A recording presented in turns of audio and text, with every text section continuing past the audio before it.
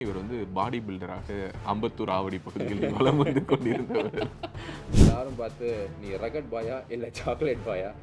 ராஜவேல் வந்து ரெண்டும் கலந்த ஒரு மனிதன் எனக்கு தெரியும். பட் அதெல்லாம் இப்போ எடுத்து மொபைலை பார்த்தா ஏதாவது ஒரு புதுசாக ஒரு குரலையை கிளப்பி விட்டுருப்பாங்க. மினி கூப்பர் வாங்கிட்டான் வீடு வாங்கிட்டான் பல கோடிகள் சம்பாதிச்சிட்டான் அப்படின்னு சொல்லிட்டு. நீங்க யாருக்காக இந்த பணத்தை கலெக்ட் பண்ணீங்களோ அல்லது எந்த ஊர் மக்களுக்காக இந்த பணத்தை கலெக்ட் பண்ணீங்களோ அவங்களோட உணர்வு எப்படி இருந்தது? ஒரு கண்டிஷன் என்ன வச்சேன்னா சார் அப்ரூவல் கிடைச்சதுக்கப்புறம் நான் ஃபண்டை ட்ரான்ஸ்ஃபர் பண்ணுறேன் ஏன்னா அப்ரூவல் கிடைக்காம ட்ரான்ஸ்ஃபர் பண்ணேன்னா அதுக்கப்புறம் எந்த அடிப்படையில் கொடுத்தீங்க அப்படின்னு எனக்கு பிரச்சனை பண்ணுறதுக்கு வாய்ப்பு இருக்குன்னு சென்ட்ரல் கவர்மெண்ட் ஜுடிஷியரி யாருக்கு வேணால் நான் கொடுக்கறதுக்கு ரெடியாக இருக்கேன். யாருக்கும் அந்த நிலமை வரக்கூடாது அவ்வளோ மோசமான நிலைமை அதை நான் டெலிங்க. ஸ்டாலின் அவர்களை சந்திக்கணும்னா நீங்கள் எந்த மாதிரி வீடியோ போடணும் அப்படின்னு பார்த்தீங்கன்னா. நம்ம மதிக்கக்கூடிய. உயிராக நினைக்கக்கூடிய சிவபெருமான அசிங்கப்படுத்தி வீடியோ போடணும் ம். இல்லைன்னா அசிங்க அசிங்கமாக பேசி இந்த பிளிப் பிளிப் மாதிரி இருக்கு பார்த்தீங்களா. பெண்களோட. அந்த பற்றி அசிங்கமாக பேசி வீடியோ போட்டால் அங்கே போய் பார்க்கலாம் இல்லைன்னா இந்த திராவிட கோட்பாடுகளை சொல்லி போட்டால் அங்கே போய் பார்க்கலாம் அப்படி எனக்கு தேவையே இல்லை ஸோ இனிமேல் இப்படியெல்லாம் போயிடாதீங்க இப்படி போனீங்கன்னா இதுல இப்படியெல்லாம் நம்மள முடக்குவாங்க அதனால இப்படியெல்லாம் போகாம நான் இப்படி மதுரை போங்கன்னு அந்த பக்கம் போகாதடா சொன்னா கேள்றா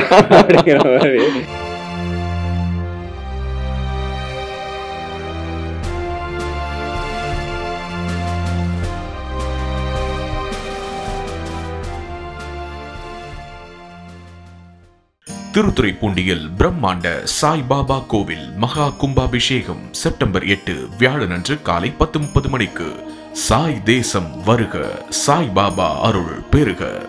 உலக தமிழ் சொந்தங்களுக்கு வணக்கம். நான் உங்கள் ராஜவேல் நாகராஜன். இன்றைக்கு நம்முடைய அரங்கத்திற்கு தேசிய சிந்தனைவாதி தேசியவாதியாக அறியப்பட்டவர் இளைய பாரதம் என்ற யூடியூப் சேனல் மூலமாக தினமும் பல லட்சக்கணக்கான வலதுசாரி சிந்தனையாளர்களை சென்றடையக்கூடிய நபர் கார்த்திக் கோபிநாத். இன்று நம்முடைய அரங்கத்துக்கு வந்திருக்கார். அவரோட இணைந்து தான் பேச போகிறோம் வணக்கம். வணக்கம் ராஜு ரொம்ப ஒரு ஃபார்மலான ஒரு இன்டர்வியூவாக இதை நான் எடுத்துகிட்டு போகணும்னு நினைக்கல. இருந்தாலும் கார்த்திக் கோபிநாத் அப்படின்னா இளைய பாரதம் தெரியும். அண்ட் அஃப்கோர்ஸ் இப்போது சிறுவாச்சூர் கோவில் புகழ் கார்த்திக் கோபிநாத். இன்னொரு ஆங்கிள் தெரியும். அண்ட் லா காலேஜில் படிக்கிறீங்க அப்படிங்கிறது தெரியும். இது எல்லாத்தையும் தாண்டி ஜூனியர் விடனில் வந்து நீங்கள் கைதாகி சிறையில் இருந்த பொழுது ஒரு ஆர்டிக்கல் எழுதியிருந்தாங்க. அதில் வந்து என்ன எழுதியிருந்தாங்கன்னா இவர் வந்து பாடி பில்டராக அம்பத்தூர் ஆவடி பகுதிகளில் வலம் வந்து கொண்டிருந்தவர். எனக்கு ஏதோ அந்த புல்லட் பாண்டி மாதிரி இல்லை அதுக்கு பிறகு தான் போயிட்டு சும்மா பார்த்தேன். பார்க்கும்போது பார்த்தா so your track records are like எல்லா ஏரியாக்கள்லையும் ஏதோ ஒவ்வொன்றும் பண்ணியிருக்கீங்க.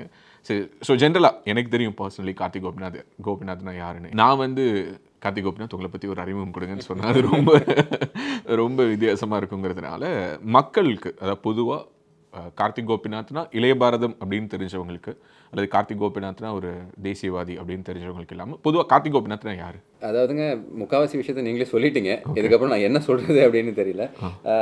பேசிக்கலி அதான் நீங்கள் சொன்ன மாதிரி நான் ஒரு தேசியவாதி. ஸோ தேசிய கருத்துக்கள் தமிழ்நாட்டில் ரொம்ப பரவலாக இருக்குது அது மறைக்கப்பட்டிருக்கு. அதை திருப்பி எல்லாரும் கொண்டு வரணும். ஏன்னா இங்கே அரசியல் மாற்றம் வேணும் அப்படின்னா இங்கே அந்த கருத்தியல் மாற்றம் வேணும் அப்படின்னா எல்லாருக்கும் அந்த விழிப்புணர்வு வேணும். நிறைய பொய்கள் இங்கே சொல்லப்பட்டிருக்கு. அப்போ எப்படி இதை மாற்றலாம் அப்படின்னு பார்க்கும்போது நீங்கள் சொன்ன மாதிரி இந்த சிவில் சர்வீசஸ் கிளாஸஸ் எல்லாம் எடுத்துகிட்டு இருந்தேன் அப்போ இந்த இளைஞர்கள் மத்தியில் அந்த தேசியவாத சிந்தனை இருக்குது ஆனால் அது வந்து அவங்க இங்கே இங்கே படமாக இருந்தாலும் சரி இங்கே ப்ரா பொலிட்டிக்கல் ப்ராப்பகேண்டாக இருந்தாலும் சரி அது எல்லாமே வேறு மாதிரி ஒரு கட்டமைப்பு வைத்து சில அரசியல் கட்சிகளுக்கு உதவுற மாதிரி மட்டும் இருக்குது ஸோ அதனால் நிறைய நீங்கள் சொன்னீங்க நிறைய ஃபீல்டு இருந்தது மாடலிங் சினிமா அதெல்லாம் இருந்தது. அதை தாண்டி உண்மையிலேயே நான் வாழ்க்கையில் என்ன பண்ணணும் அப்படின்னு யோசிக்கும்போது எனக்கு இந்த பொலிட்டிக்கல் அனாலிசிஸ் பொலிட்டிக்கல் ஆக்டிவிசம்னே சொல்லலாமே ஒரு இன்ஃப்ளூயன்ஸ் பண்ணணும். எல்லாரும் பார்த்து நீ ரகட் பாயா இல்லை சாக்லேட் பாயா? ராஜவேல் வந்து ரெண்டும் கலந்த ஒரு மனிதன் எனக்கு தெரியும். பட் அதெல்லாம் இப்போ சோஷியல் மீடியாவில் வைரல் ஆகுது. ஓகே உண்மையான கருத்துக்கள் யாரும் எடுத்து பேச மாட்டேங்கிறாங்க. இந்த ஃபன் இருக்கணும். பட் அதை தாண்டி விழிப்புணர்வும் இருக்கணும். ஏதாவது மொமெண்ட் இருக்கா கார்த்தி? அதாவது நான் எப்படி கேட்குறேன்னா இப்போ நிறைய பேர் வந்து ஜல்லிக்கட்டுக்கு அப்புறம் அப்படிலாம் சொல்லுவாங்கல்ல அந்த மாதிரி கார்த்திக்கோட லைஃப்பில் ஏதாவது ஒரு மொமெண்ட் இதுக்கப்புறம் தான் எனக்கு நான் உண்டு என் வேலை உண்டுன்னு இல்லாமல் நான் அந்த சொசைட்டி கூட கொஞ்சம் இன்ட்ராக்ட் பண்ணணும்னு நினைக்கிறேன். இல்லை சோஷியல் இஷ்யூஸை நான் அட்ரஸ் பண்ணணும்னு நினைக்கிறேங்கிறதுக்கு ஏதாவது ஒரு ஸ்பார்க் இருக்கா? ஒரு ஒரு பர்டிகுலர் இன்சிடென்ட் எதுவுமே சொல்ல முடியாது சார் நிறைய இன்சிடென்ட்ஸ் வந்து அப்படியே ஒரு பையில பைய தான். இப்போ நிறைய இடத்துல நம்ம பார்ப்போம். ஏன்னா அது? உண்மைக்கு மாறாக இருக்குது இப்போ கோயில்களில் இருக்கக்கூடிய நிலைமையாக இருக்கட்டும். நம்ம அரசாங்க ஆஃபீஸஸில் இருக்கக்கூடிய நிலைமையாக இருக்கட்டும். நம்ம ஸ்டூடெண்ட்ஸ்க்கு இருக்கக்கூடிய பொட்டென்ஷியல் ரியலைஸ் பண்ண முடியாத நிலைமையாக இருக்கட்டும். முக்கியமாக அந்த வாத்தியாராக இருக்கும்போது நிறைய இடத்துல பார்ப்பேன். ஒரு வேகம் இருக்குது ஆனால் வந்து அவனால் அச்சீவ் பண்ண முடியாது அப்படின்னு பார்த்தீங்கன்னா அவனோட ஸ்கூலிங்லேருந்து அந்த ஸ்கூல் இன்ஃப்ராஸ்ட்ரக்சர்லேருந்து பிரச்சனை. ஸோ அதை எல்லாமே ஒரு பைலப்பாய் என்ன உண்மையிலேயே வாழ்க்கையில் என்ன வேணும் அப்படின்னு நினச்சிக்கிட்டு இருக்கும்போது இந்த இளைய பாரதம் அப்படிங்கிற சேனல் ஸ்டார்ட் பண்ணுறது அதெல்லாம் ஒரு கடவுளோட அருள் அப்படின்னு தான் நான் நினைக்கிறேன். ஸோ அந்த ஃபாலோவர்ஸ் வரும். ஏன்னா நம்ம சேனல் பார்த்தீங்கன்னா வெறும் இந்த கண்டென்ட் அண்ட் இஷ்யூஸ் மட்டும் தான் இருக்கும். இந்த சென்சேஷனலிசம் அதெல்லாம் பெருசாக எதுவும் இருக்காது. கொஞ்சம் இன்ட்ரெஸ்டிங் ஆக்கிறதுக்கு என் தலைவன் வடிவேல் அப்பப்போ எடுத்துகிட்டு வர வேண்டியிருக்குமே தவிர எதுவும் இருக்காது. அதை தாண்டி பண்ணுறதுக்கு ஒரு புஷ் எங்கேருந்து வந்ததுன்னா I think it's from God okay basically ஃபேமிலியாக பார்க்கும்போது நான் க்ளோஸாக மூவ் ஆனதுக்கு பிறகு தெரியும். ஒரு ஃபேமிலியாகவே வந்து ஒரு அஹ், அப்பாவுக்கு ஒரு தேசிய சிந்தனை உள்ள குறிப்பாக நேவியில் இருந்தார் அப்பா? ஏர்ஃபோர்ஸ் ஏர் ஃபோர்ஸில் இருந்தார். ஸோ இந்த கோபிநாத்ங்கிறதே கேப்டன் கோபிநாத் அவர் மேலே இல்லை அப்படி தான் கேள்விப்பட்டேன். அதான் உண்மையா? இல்லை இல்லை அதெல்லாம் ஒன்றும் கிடையாதுங்க. அது வந்து என் ரெண்டு தாத்தா இருக்காங்க பார்த்தீங்களா ஆகிறதுலேருந்து ஒவ்வொரு பேராக பார்த்தீங்களா பொய் சொல்லிட்டானுங்க. என்னென்னமோ எல்லாம் கிளப்பி விடுறாங்க. ஓ அப்படிலாம் கிடையாது. அதெல்லாம் ஒண்ணும் ஸோ நான் கேள்விப்பட்டேன் இந்த சூரரை போட்டு படமா? அவர் தானே கேப்டன் கோபிநாத்தா? அதெல்லாம் ஒன்றுமே கிடையாது அவர் வந்து ஒரு ஏர்ஃபோர்ஸ் ஏவியேட்டரே கிடையாது சார் அவர். ஸோ இது வந்து சும்மா தாத்தாவோட பேர்ல இருந்து ரெண்டும் எடுத்து வைக்கணுமேனு சொல்லி கார்த்திக் வீட்டில் எல்லாரும் முருகன் இஷ்ட தெய்வம். ஸோ அதனால கார்த்திக்னு வச்சாங்க. சரி அந்த காலத்துல கார்த்திக் வேற பயங்கர ரொமான்டிக் ஹீரோ இருந்தார்ல எங்க திரும்பினாலும் கார்த்திக் தான். ஆமா. இப்போ கார்த்திகோட நிலைமை என்ன அப்படின்னு பார்த்தீங்கன்னா திவ்யா கள்ளச்சி அதை வச்சு தான் கார்த்திக் அறியப்படுறாங்க. ஸோ அந்த காலகட்டத்தில் வச்ச பேர் ஒரு கார்த்திக்னு இருந்தால் போதாதே கிருஷ்ணரோட பேரும் கொஞ்சம் கூட இருக்கட்டும் அப்படின்னு சொல்லிட்டு கோபிநாத்தையும் கூட ஆட் பண்ணாங்க. அதுதான் சார் அதுக்கு பின்னாடி எல்லாம் பெருசாக எதுவும் இல்லை. வரும் புத்தாண்டில் உங்களுடைய நாட்களை அழகாக திட்டமிட. உங்கள் இலக்குகளை அடைய வாழ்க்கையை அர்த்தமுள்ளதாக மாற்ற உங்கள் மனதுக்கு நெருக்கமானவர்களுக்கு பரிசளிக்க self love journal dear life I love you சலுகை விலையில் உங்கள் ஜேர்னலை முன்பதிவு செய்ய இந்த வீடியோவுடைய டிஸ்கிரிப்ஷனில் இருக்கும் தகவல்களை பாருங்க. ஒரு ஒரு ஒரு பீரியட் வரைக்கும் நீங்கள் வந்து சிவில் சர்வீஸ் தானே ட்ரை பண்ணிருந்தீங்க ஆமாங்க. சிவில் சர்வீஸ் ப்ரிப்பரேஷனுங்கிறது வந்து ஏன்னா இப்போ நிறைய அதை பற்றிய நிறைய விமர்சனங்கள்லாம் இருக்குல்ல. அதாவது தமிழ்நாட்டை சேர்ந்தவங்க வந்து சிவில் சர்வீஸில் இன்னைக்கு அந்த எக்ஸாம்ஸை கிளியர் பண்ணுறது கொஞ்சம் ரேட் வந்து கொஞ்சம் இப்போ கம்மியாக இருக்குது அப்படிங்கிற மாதிரியான ஒரு சில கருத்துக்கள்லாம் வருது. உண்மையா? ஏன்னா அண்ணா நகர் போனோம்னா எப்போவுமே தெருவுக்கு புதுசாக ஒரு ஐஏஎஸ் அகாடமியை ஓப்பன் பண்ணிக்கிட்டே தான் இருக்காங்க.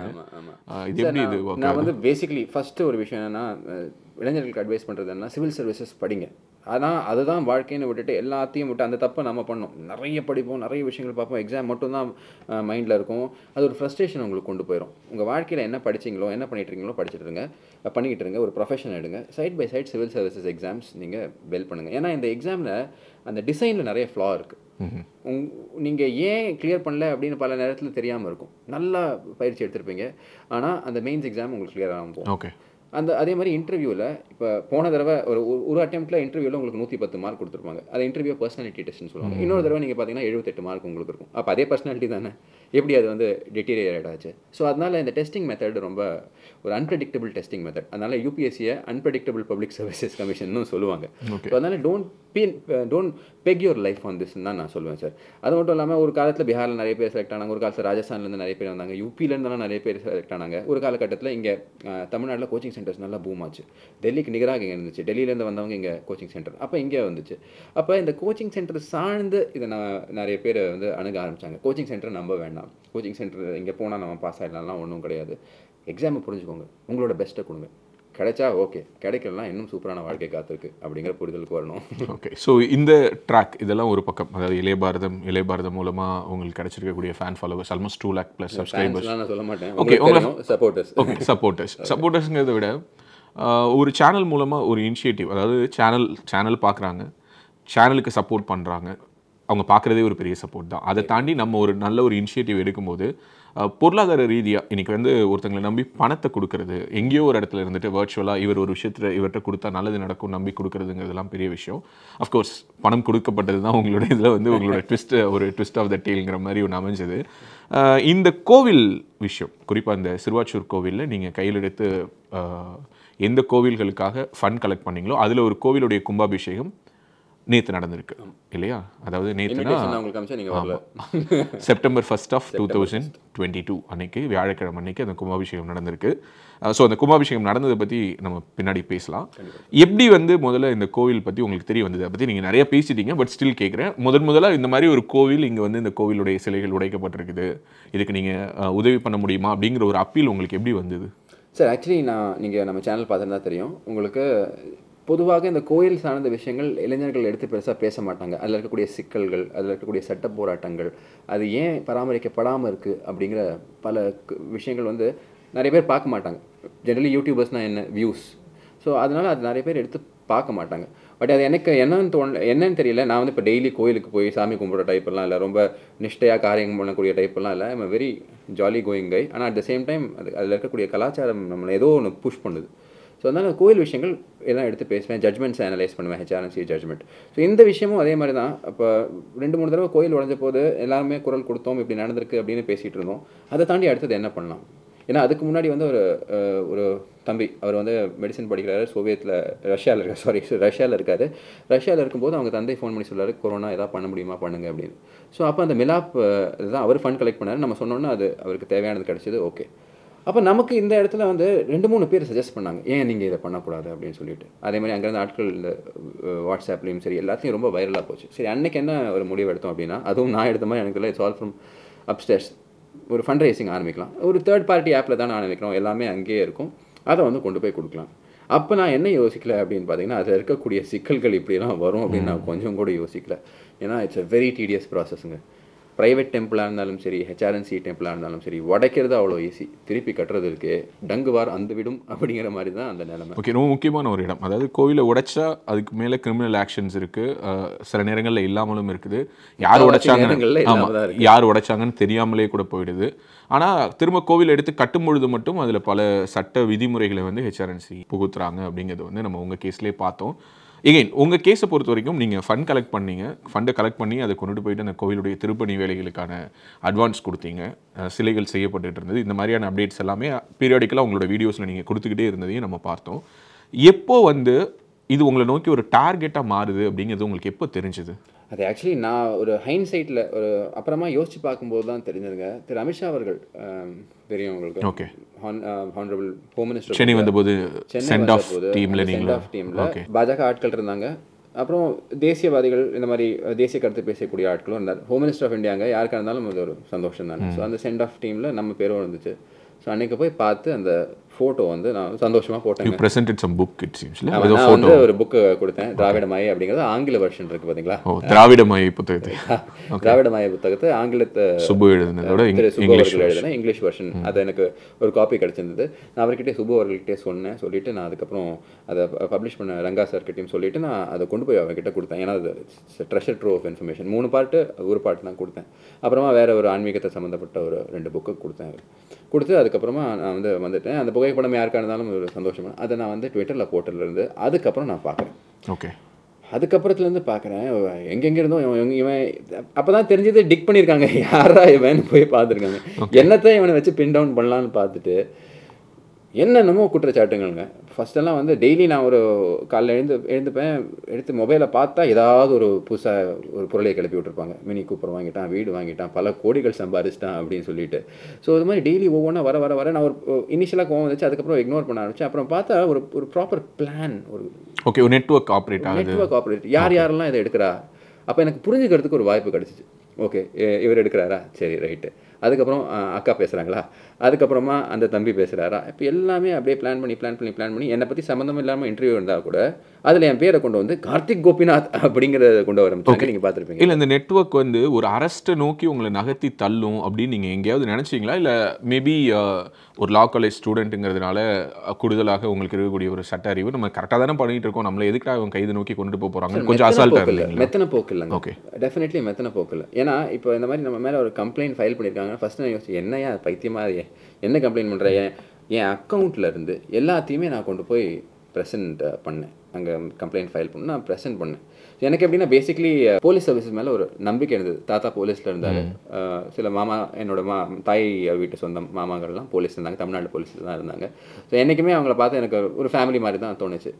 அவங்க வந்து இந்த மாதிரி ஒரு அதாவது இப்போ நம்ம ஒரு தப்பு பண்ணியிருக்கோம் அதுக்கு அரெஸ்ட்னா நம்ம யோசிக்கலாம். எதுவுமே பண்ணலையே நம்ம நம்ம போலீஸ் துறை இந்த மாதிரி பண்ணுமா அப்படின்னு மெத்தனை போக்கில் இருந்துட்டேன். ஆல்தோ ஐ ஸ்டடிட் லா போலீஸோட மிஸ்யூஸ் எப்படி இருக்கும் அப்படின்னு எனக்கு தெரியும். அப்படியெல்லாம் இருந்தால் கூட ஏதோ ஒரு ஒரு அது எப்படின்னு சொல்ல I think they were my family ஆனால் ஒரு பாயிண்ட்டுக்கு அப்புறம் நிறைய பேர் சொல்ல ஆரம்பிச்சாங்க. There's there's a strong strategy உள்ளே கொண்டு போய் வைக்கணும் அப்படின்னு. இருக்காது சார் நம்ம தான் எல்லாம் க்ளீனாக இருக்குமே. ஆன்டிசிபேட்டரி பெயில் எடுக்கக்கூடாதா அப்படின்னு சொன்னாங்க. எதுக்கு எடுக்கணும் ஆன்டிசிபேட்டரி பெயில் என்ன பண்ணிட்டேன் அப்படின்னு சொல்லிட்டு I didn't take the anticipatory bail கடைசி அந்த மூமெண்ட் வரைக்கும் வந்து எனக்கு தெரியாது. காலையில் அஞ்சு மணிக்கு வந்து தட்டுறாங்க. என் அம்மா அப்பா சிக்ஸ்டீஸ் அவங்களுக்கு. அவங்க கீழே இருக்காங்க. மேலே நானும் என் ஒய்ஃப் இருக்கோம். காலைல வந்து அதுவும் சொல்லி எப்படி கூப்பிட்றாங்க அப்படின்னா ஏற்கனவே நீங்கள் ஏசியை பார்த்துட்டு வந்தீங்கல்ல. ஸோ அவர் வந்து ஒரு கையெழுத்து வாங்கிட்டு வர சொல்கிறாரு அப்படின்னு சொல்லிட்டு என் அம்மா அப்பாட்ட வந்து சொல்லி அதுக்கப்புறம் மேலே அவங்க வந்து அப்போ எனக்கு டவுட் வந்துருச்சு. ஓகே காலையில் அஞ்சு மணிக்கு வராங்கன்னா அவங்க பிளான் பண்ணிட்டாங்க அப்படின்னு. அப்போ கூட நான் என்ன யோசிச்சேன்னா அடப்பாவையில் இப்படி இதுக்காடா? அப்படின்னு யோசிச்சுட்டு இருந்தேன். தென் ஐ அண்டர்ஸ்டுட் நம்ம வந்து எக்கோ சிஸ்டம் எவ்வளோ ரேட்டல் பண்ணியிருக்கோம் அப்படின்னு. ஓகே அந்த டே எந்த டே ஞாபகம்? கண்டிப்பாக கார்த்திக் மறக்காதுன்னு நினைக்கிறேன். அந்த தேதி ஞாபகம் இருக்கா? முப்பது முப்பதாம் தேதியா? முப்பதாம் தேதியா முப்பத்தொன்னாம் தேதியா? எனக்கு அந்த I want to forget that எனக்கு இருக்கக்கூடிய ஒரு நல்ல விஷயம் என்னன்னா மோசமா நடந்ததெல்லாம் மறந்துடுவேன் அது ஒரு நல்லதும் சரி கெட்டதும் சரி. கைது செய்யப்பட்டு கோர்ட்டில் ஆஜர்படுத்தப்படுறீங்க. அதற்கு பிறகு உங்களை வந்து புழல்ல சிறைக்கு கூட்டிட்டு போகிறாங்க அதுக்கு நடுவில் நிறைய ப்ராசஸ் இருக்கு. அந்த மெடிக்கல் டெஸ்ட் பண்ணுவாங்க. அதெல்லாம் பாத்தீங்கன்னா அன்னைக்கு ஆவடி கமிஷனரேட்டே பிளாக் பண்ணி வச்சுட்டாங்க. யாரும் உள்ள ஆமா ஆல்மோஸ்ட் அதே மாதிரி பாஜக சேர்ந்த அமர் நிறைய பேர் அங்க கோர்ட்டுக்கு ஆமா வந்தாங்கல்ல? அது வந்து எம்ஆர் வெங்கடேஷ் எம்ஆர் வெங்கடேஷ் அவர்கள் அவரெல்லாம் வந்து சுப்ரீம் கோர்ட் அட்வொகேட் அவர் வந்து சென்னையில் இருந்தார் அவர் வந்துட்டார். ராகவாச்சாரி சார் அவரெல்லாம் பார்த்தீங்க அப்படின்னா சட்டத்துறையில் இருக்கறனால லீகல் லியூமினரி அவ்வளோ பிரில்லியன்ட் அட்வொகேட் அவரெல்லாம் வந்து லோக்கல் கோர்ட்ஸுக்கு போகவே மாட்டாங்க. அவங்க ஹைகோர்ட் தான். இவர் வந்து சுப்ரீம் கோர்ட்டில் அவர் ஹைகோர்ட்டில் தான் இருப்பார். அவரை பிடிக்கிறதே கஷ்டம். அவங்க எல்லாம் அவங்க டைமை ஸ்பெண்ட் பண்ணி எங்க அவங்க எல்லாரும் பூந்தமல்லி ஸ்பெஷல் பூந்தமல்லி பூந்தமல்லியில் ஆக்சுவலி அன்னைக்கு அந்த ஜட்ஜ் வந்து மாண்புமிகு நீதிபதி அவர் வந்து அன்னைக்கு வந்து அவர் லீவில் இருக்கார். ஸோ அதனால அதுக்கு வந்து அம்பத் அம்பத்தூர் ஸ்பெஷல் கோர்ட்டுக்கு வருது. ஓகே ஸ்பெஷல் கோர்ட்டுக்கு வந்து எப்படின்னா இப்போ நான் உங்களை கைது பண்ணிட்டேன்னு வச்சுக்கோங்களேன். A போலீஸ் நான் உங்களை கைது பண்ணிட்டேன்னா நீதிபதி நீதிமன்றத்தில் அணுகி நீதிபதி கிட்ட பெர்மிஷன் வாங்கணும். சார் நான் இவரை வந்துட்டு இந்த அடிப்படையில் கைது பண்ணுறேன் எஃப்ஐஆரில் ஜுடிஷியல் கஸ்டடியில் வைக்கணும்னு ரிமாண்டுக்கு அப்போ ரிமாண்டை கொடுக்கலாம் டினை பண்ணலாம். ஆனால் இந்த நீதிபதி இவங்கெல்லாம் சொல்லியும் மேடம் உங்களுக்கு என்ன வேணுமோ சொல்லுங்கள் எதுவுமே இல்லை அப்படின்னு சொல்லியும் அவங்க சொல்லிட்டாங்க. நீதிபதியோட ஜட்மெண்ட்டுக்கு மேலே நான் கமெண்ட் பண்ண விரும்பல. ஸோ அவங்க ரிமாண்டை கொடுத்துட்டாங்க. இதெல்லாம் வந்துட்டு நடக்குது. அந்த இடத்துலயே பார்த்தீங்க அப்படின்னா பாஜகவினர் நிறைய பேர் வந்திருந்தாங்க. அவங்களுக்கு நன்றி ஓகே ஸோ ஆக்சுவலி நீங்கள் கைது செய்யப்பட்டு சிறைக்கு போறீங்க. அஹ் அதுக்கு முன்னாடி வந்து ஒரு லாயராக இருக்கிறதுனால நீங்கள் சிறை பற்றி நிறைய படிச்சிருப்பீங்க. கேட்டிருப்பீங்க. பிரிசன் விசிட்லாம் இருக்குங்க. ஓகே பிரிசன் விசிட்லாம் இருக்கா? ஓகே உங்க சிலபஸ்ல part of your syllabus part of syllabus இருக்கு. பட் எப்படி- நாங்களாம் போக முடியல. எப்படி இருந்தது? சிறைக்குள்ளார போகும்பொழுது பிகாஸ் ஆஸ் யூ said ஒரு அவுட்லைனாக டச் பண்ணியிருந்தாலுமே அப்பா ஒரு ஏர் ஃபோர்ஸில் இருந்திருக்காரு. அண்ட் ஃபேமிலி ஒரு வெல் ஆஃப் சின்ன வயசுலேருந்தே ஒரே பையன் செல்லமான பையன். என்ன வேணாலும் பண்ணலாம். சிவில் சர்வீஸா படி. சினிமாவில் நடிக்கிறியா? நடி. பாடி பில்டிங்கா பண்ணு. என்ன என்ன தோணுதோ பண்ணுன்னு ஒரு ஃப்ரீடம் கொடுத்து வளர்த்த ஒரு ஒரு ஃபேமிலியில் திடீர்னு காலைல அஞ்சு மணிக்கு வந்து ஒரு பையன். அப்பாவும் அம்மாவும் என்ன பிலீவ் பண்ணிருக்காங்கன்னா பையன் வந்து ஒரு நேஷனலிஸ்ட்டு அமித்ஷாவே சென்ட் ஆஃப் பண்ணுற இடத்துல இருக்கான் பையன் நினைக்கிறவங்களை வந்து திடீர்னு ஒரு நாள் போலீஸ் வராங்க கூட்டிட்டு போய் ஜெயிலுக்கு அரெஸ்ட் அப்படிங்கிற அந்த மூமெண்ட் எப்படி இருந்தது? Once you step in to the jail actually ஜெயிலில் இருக்கும்போது Raju it's was a opportunity for introspection ஏன்னா ஜெயிலில் வந்து வேலை எதுவும் இருக்காது. ஓகே அங்கே இருக்கக்கூடிய எனக்கு பிரிசன் நண்பர்கள்லாம் என்ன எந்த வேலையும் செய்யவும் விடல. அவங்க தலை உட்கார் தலை நான் பார்த்துக்கிறேன் தலை அப்படின்னு சொல்லிட்டு அவங்க ஒரு இடத்துல உட்கார வச்சுட்டாங்க. நான் என்ன பண்ணுவேன்னா உட்காந்து திங்க் பண்ணுவேன். அப்போ திங்க் பண்ணும்போது நான் பல விஷயங்கள் அப்போ தான் தோணுச்சு. நீங்கள் சொன்ன மாதிரி வெல் ஆஃப் ஃபேமிலி எல்லாம் கிடையாதுங்க. நார்மல் மிடில் கிளாஸ் ஃபேமிலி என்னன்னா சட்டத்தை மதிச்சுக்கோ நல்லா இரு. முடிஞ்சதை பண்ணு. யார்கிட்டயும் தப்பு பண்ணாத அப்படின்னு சொல்லி கொடுத்த ஒரு காட் ஃபியரிங் அம்மாலாம் வந்து பார்த்தீங்கன்னா மேபி அதனால தான் அந்த கோயில் விஷயங்கள்லாம் எடுக்க தோணுது. பயங்கர காட் ஃபியரிங் அப்படி உட்காந்து யோசிச்சுட்டு இருக்கும்போது நம்ம பண்ணக்கூடிய சாய்ஸஸ் வாழ்க்கையில் அது எங்கே கொண்டு வந்து விட்டுருக்கு அப்படின்னு நான் யோசித்தேன் அப்போ ரெண்டு ஒரு ரெக்ரெட் இருந்ததா? ரெண்டு விதமான விஷயங்கள். ரிக்ரெட் பண்ணணுமா பண்ணக்கூடாதா அப்படிங்கிற மாதிரி ஒரு டைலமால போனேன். அந்த நேரத்தில் தான் நமக்கு இந்த இறை நம்பிக்கைன்னு சொல்லுவோம்ல அது வருது. ஸோ இவ்வளோ தூரம் வந்துட்டு நல்ல காலம் இருக்கும்போது நன்றி ஃபெய்த்து அப்படின்னு சொல்லிட்டு இருந்தேன். இந்த காலத்துல ஏன் ஹோப் போடணும்? பார்த்துக்கலாம் அப்படின்னு சொல்லிட்டு ஐ ஸ்டார்டட் ஒரு ஒரு நம்பிக்கை வர ஆரம்பிச்சிச்சு. ஸோ ஃபர்ஸ்ட் டேவை விட அந்த ஃபர்ஸ்ட் நைட் அந்த முதல் நாள் இரவு வந்து எப்படி இருந்திருந்தது? டெரிபிள்ங்க டெரிபிள் என்ன? என்னன்னா புழல் புழலை ஒரு விஷுவலைஸ் பண்ணி சொல்ல முடியுமா? எப்படி இருக்கும் புழல்? பேசிக்கலி என்னன்னா புழல்ங்கிறது உங்களுக்கு மூணு பிரசன்ட் இருக்குங்க. புழலில் மூணு ஜெயில் இருக்கும். ஜெயில் அத்தாரிட்டிஸ் அவங்க அதை நடத்துகிறாங்க ஸோ ஜெயில் வழியாக வரைக்கும் உங்களுக்கு அந்த போலீஸ் வருவாங்க. அதுக்கப்புறம் தேல் பி டேக்கன் ஓவர் உங்களை வந்து ஃபுல்லாக அவங்க உங்களை ஸ்ட்ரிப் பண்ணி நீங்கள் எதாவது வச்சிருக்கீங்களா? ஏன்னா அங்கே சீரியல் அஃபெண்டர்ஸ்லாம் என்ன பண்ணுவாங்கன்னா பெப்சின்னு சொல்லுவாங்க. அந்த ட்ரக்ஸ் கிக்ஸ் எல்லாம் உள்ளே ஏற்றிட்டு வருவாங்க. ஸோ அதனால ஃபுல்லாக அவங்கள ஸ்ட்ரிப் பண்ணி நீங்கள் எதாவது வச்சிருக்கீங்களா? பிளேடு வாயில் எதாவது வச்சிருக்கீங்களா? தலையில் எதாவது வச்சிருக்கீங்களா? அப்படின்னு. சாதாரண தப்பு பண்ணாத குடிமகன் இதெல்லாம் அண்டர்கோ பண்ணும். ஜுடிஷியல் கஸ்டடியில் இருக்கக்கூடிய நான் தப்பு சொல்கிறேன் ஸோ இதெல்லாம் பண்ணுவாங்க. ஸோ அந்த ஒன் ஒரு பிரச்சனையில் ஜுடிஷியல் கஸ்டடியில் இருக்காங்க அங்கே பார்த்தீங்கன்னா கொச்ச கொச்ச கொச்ச கொச்ச கொச்ச கொச்சன்னு இருக்கும். இன்னொன்று வந்து தண்டனை பிரச்சனை அதுவும் கொச்ச கொச்சன்னு இருக்கும். அப்புறம் விமென்ஸ் பிரச்சனை பெண்களுக்கு. ஸோ இந்த இடத்துல நான் அன்றைக்கி நைட் ஒரு ஏழு எட்டு ஏழு மணி வாக்கில் நினைக்கிறேன். என்னோட போகிறேன் அப்போ வந்து ஆல்ரெடி நாலு பேர் இருக்காங்க. அவங்க வந்து என்னென்னா அவங்களும் இந்த அம்பத்தூர் கோட்டை வழியாக தான் வந்திருக்காங்க. தலைவா நீ யார் தலைவா? அப்படின்லாம் அங்கே ஒரு பேசிக்கிட்டு இருக்காங்க. ஒரு பத்து மணி வாக்கில் ஒரு சோறு கொண்டு வந்து கொடுக்குறாங்க. படின்னு சொல்லுவாங்க அது. அது நீங்கள் அந்த நேரத்தில் அதை ஸ்மெல் பண்ணீங்கன்னா உங்களுக்கு எனக்கு என்னமோ தெரியல யூஸ் கான்ஸ்டண்ட்டாக காலையிலேருந்து எதுவும் சாப்பிடல. ஏன்னா அவங்க வந்து போலீஸ் வந்து ஏதோ ஒன்று கொடுத்தாங்க. அது சாப்பிடவும் நமக்கு தோணல. ஏதோ ஒரு வாய் மட்டும் போட்டேன். பட் இது இதை பார்த்தோன்னே எனக்கு ஐ வாஸ் லைக் உங்களால் அதை எடுத்துக்க முடியாது. ஃபர்ஸ்ட் டைம் பார்க்கும்போது. அழுதிங்களா? சே சே அதை மட்டும் பண்ண மாட்டோம்ல. அழ வைக்கணும். தப்பு பண்ணுறவங்கள அழ வைக்கணும். ஸோ ஐ வாஸ் லைக் ஒரு வெறி தான் வந்துக்கிட்டு இருக்கு. அந்த நேரத்தில் என்ன ஆச்சுன்னா ஐ வாஸ் லைக் யோசிச்சிருந்தேன் எத்தனை நாள் இங்கே இப்படி இருக்க போகிறோம் அப்படிங்கிற ஒரு ஒரு ஒரு அன்சர்டனிட்டி வந்துச்சு என் பயம் இல்லை. ஏன்னா எந்த தப்பும் பண்ணலன்னு தெரியும். பயம் இல்லை. எப்படி இருந்தாலும் மக்களுக்கு உண்மை தெரியும்னு தெரியும். பட் இதனால வந்து அம்மா அப்பா பாதிக்கப்படுவாங்களா? வீட்டில் என்ன நினைப்பாங்க? அப்படிங்கிற ஒரு அன்சர்டனிட்டி மைண்டில் ஓடிக்கிட்டு இருந்து கொஞ்சம் உட்காந்து மெடிடேட் பண்ண ஒரு வாய்ப்பு இருந்துச்சு. அதாவது காஞ்சி மகாபெரியவரை நினச்சிட்டு அவர் சிட்டிங் அண்ட் மெடிடேட் இது வந்துட்டு ஒரு எட்டு மணி நடக்குது. பசங்க தூங்குறாங்க. ஆறு பேரும் தூங்கிட்டாங்க. நான் உட்காந்துருக்கேன் ஸோ உங்களோட செல்ங்கிறது ஒரு ஏழு பேர் இருக்கிறதா. கேளுங்க. அதுக்கப்புறமா பார்த்தீங்கன்னா நைட் ஒரு இருபது பேர் வராங்க. ஓ. அது எப்போனா நைட் ஒரு ஒரு மணிக்கு. ஓகே அதுக்கப்புறம் மறுபடியும் பார்த்தீங்க அப்படின்னா ஒரு மூணு மணிக்கு இன்னொரு இருபது பேர் வராங்க. இருக்கக்கூடிய எல்லா படமும் மைண்டில் ஓடிக்கிட்டு இருக்கு. தனுஷோட அந்த படம் என்னது? அஹ், வட சென்னை. வட சென்னை. இல்ல, ஒரு அஹ், வட சென்னையில் அந்த ஒரு ஜெயில் சீக்வன்ஸ் வருமே புது ஆ? வட சென்னை சீக்கிரம் புதுப்பேட்டையா? வருது புது அந்த அந்த புதுப்பேட்டை இருக்குல்ல அதுவும் மைண்ட்ல வருது. அவர் ரவுடியா இருப்பார். உள்ள போய் யாரது என்னது யாராவது இருக்கீங்களா அப்படின்னா? இவங்கெல்லாம் இன்னைக்கு மட்டும் தான் வராங்களா? இல்ல ஜெயில் ஒரே ஒரு பாத்ரூம் நைட் வந்து குளிக்கிறாங்க. ஓகே நைட் ஒரு மணி மூணு மணி வரைக்கும். நைட் அன்னைக்கு ஃபுல்லா தூங்கவே இல்லை. ஓகே அதுக்கப்புறம் என்ன பண்ணுறாங்கன்னா ஒரு ஒரு ரெண்டு நாள் அவங்க என்ன குவாரண்டைன்னு சொல்லுவாங்க. அதில் ஒரு செல் இருக்குது அந்த குவாரண்டைன் பேஷண்ட்லாம் கொண்டு போய் போடுறாங்க. இந்த குவாரண்டைன் பேஷண்ட்ல பார்த்தீங்கன்னா அதே மாதிரி தான் ஒரு மேலே சுத்தமாக காற்று வராது. உங்களுக்கு எப்படின்னா அந்த கொசு இருக்குல்ல இந்த கொசு வந்துட்டு இப்படியே உங்களை சு சுற்றி சுற்றிக்கிட்டு இருக்கிறத நீங்கள் பார்க்கலாம். அப்போ பக்கத்து பக்கத்து பக்கத்து பக்கத்தில் படுக்க வேண்டியிருக்கும். தரையில் தான் நீங்கள் படுக்கணும். தரை எப்படி இருக்கும்னா தரை மாதிரி இருக்கும். ப்ராப்பர் தரைன்னா என்னென்னு நினைக்க அப்படின்னா தெரியும். பிரிசனில் இன்னொரு விஷயம் இருக்குது ராஜு. உங்களுக்கு வந்து டைம் போகிறது போகவே போகாது. வெளில இருக்கும்போது நமக்கு டைமே எப்படா இப்படி போகுதுன்னு தோணும். உள்ள டைமே போகாது. நீங்கள் வந்துட்டு ரிலேட்டிவிட்டின்னு சொல்லுவாங்க பார்த்தீங்கன்னா ஐன்ஸ்டன்ட்டோட கான்செப்ட் அதெல்லாம் டைம் டைலேஷன் என்ன அப்படிங்கிறதெல்லாம் அங்கே உட்காந்து கற்றுக்கலாம் யோசிச்சா அப்படியும் ஒரு ரெண்டு மூணு மணி நேரம் ஆயிருக்கும்னு பார்த்தா இருபது நிமிஷம் தான் இருக்கும். டைமை செக்கும் பண்ண முடியாது. டைம் செக் பண்ணுறதுக்கு உங்களுக்கு இது இல்லை. ஸோ இந்த மாதிரி நிறைய அங்கே ஒரு இன்னல்கள் இருக்கும். ஸோ அந்த ஃபர்ஸ்ட் டே three உங்களுக்கு days. ஓகே வெரி வெரி ஒரு மூணு நாள். ஃபர்ஸ்ட் த்ரீ டேஸ் நான் சாப்பிடவே இல்லை எதுவும். ஜெயிலர் கூப் அந்த அங்கே இருக்கக்கூடிய சூப்பரண்டன்ட் இருப்பாங்க. அதுக்கப்புறம் வந்து ஒவ்வொருக்கும் ஒரு பிளாக்கும் ஒரு இன்சார்ஜ் இருப்பாங்க.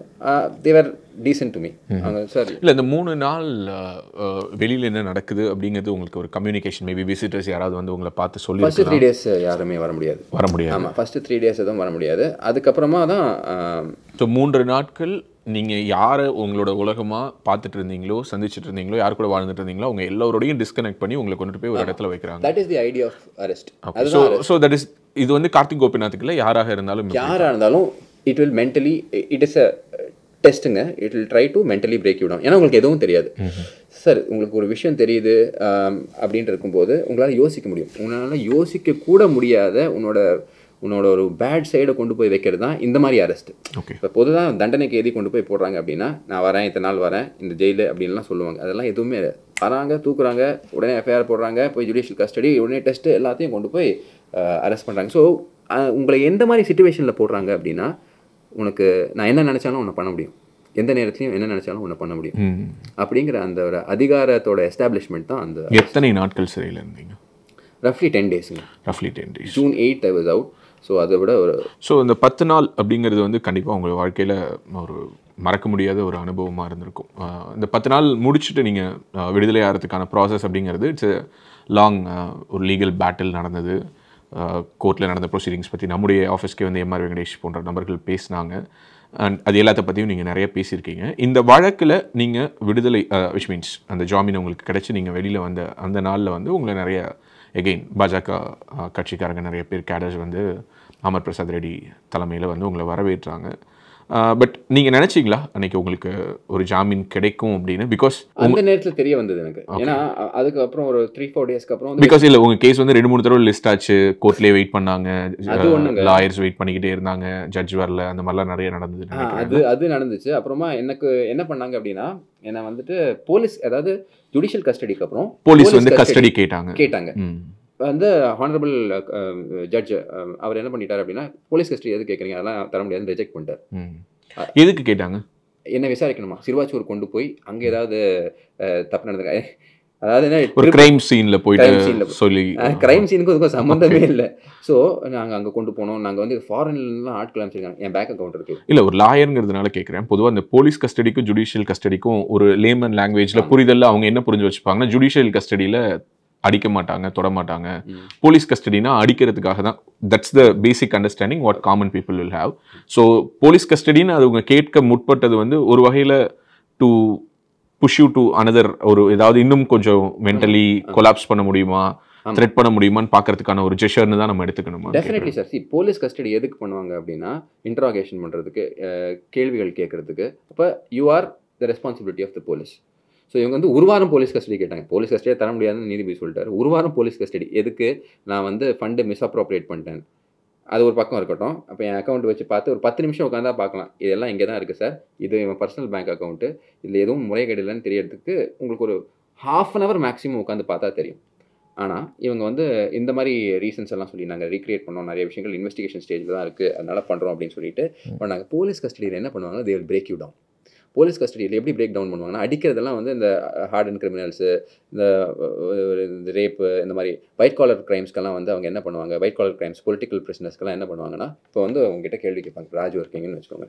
ஸோ உங்ககிட்ட வந்து கேள்வி கேட்பாங்க. ஒரு உங்கள் பேர் என்ன?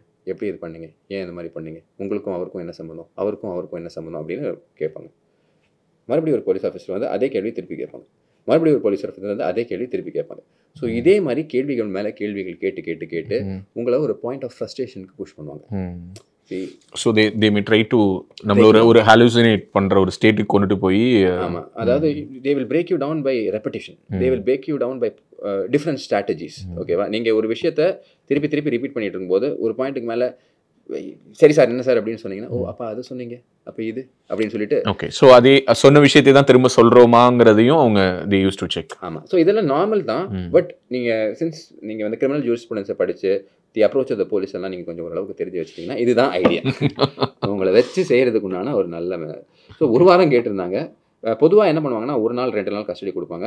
நடுவில் லாயர் வந்து விசிட் பண்ணலாம் அப்படிங்கிற மாதிரி எல்லாம் சொல்லுவாங்க.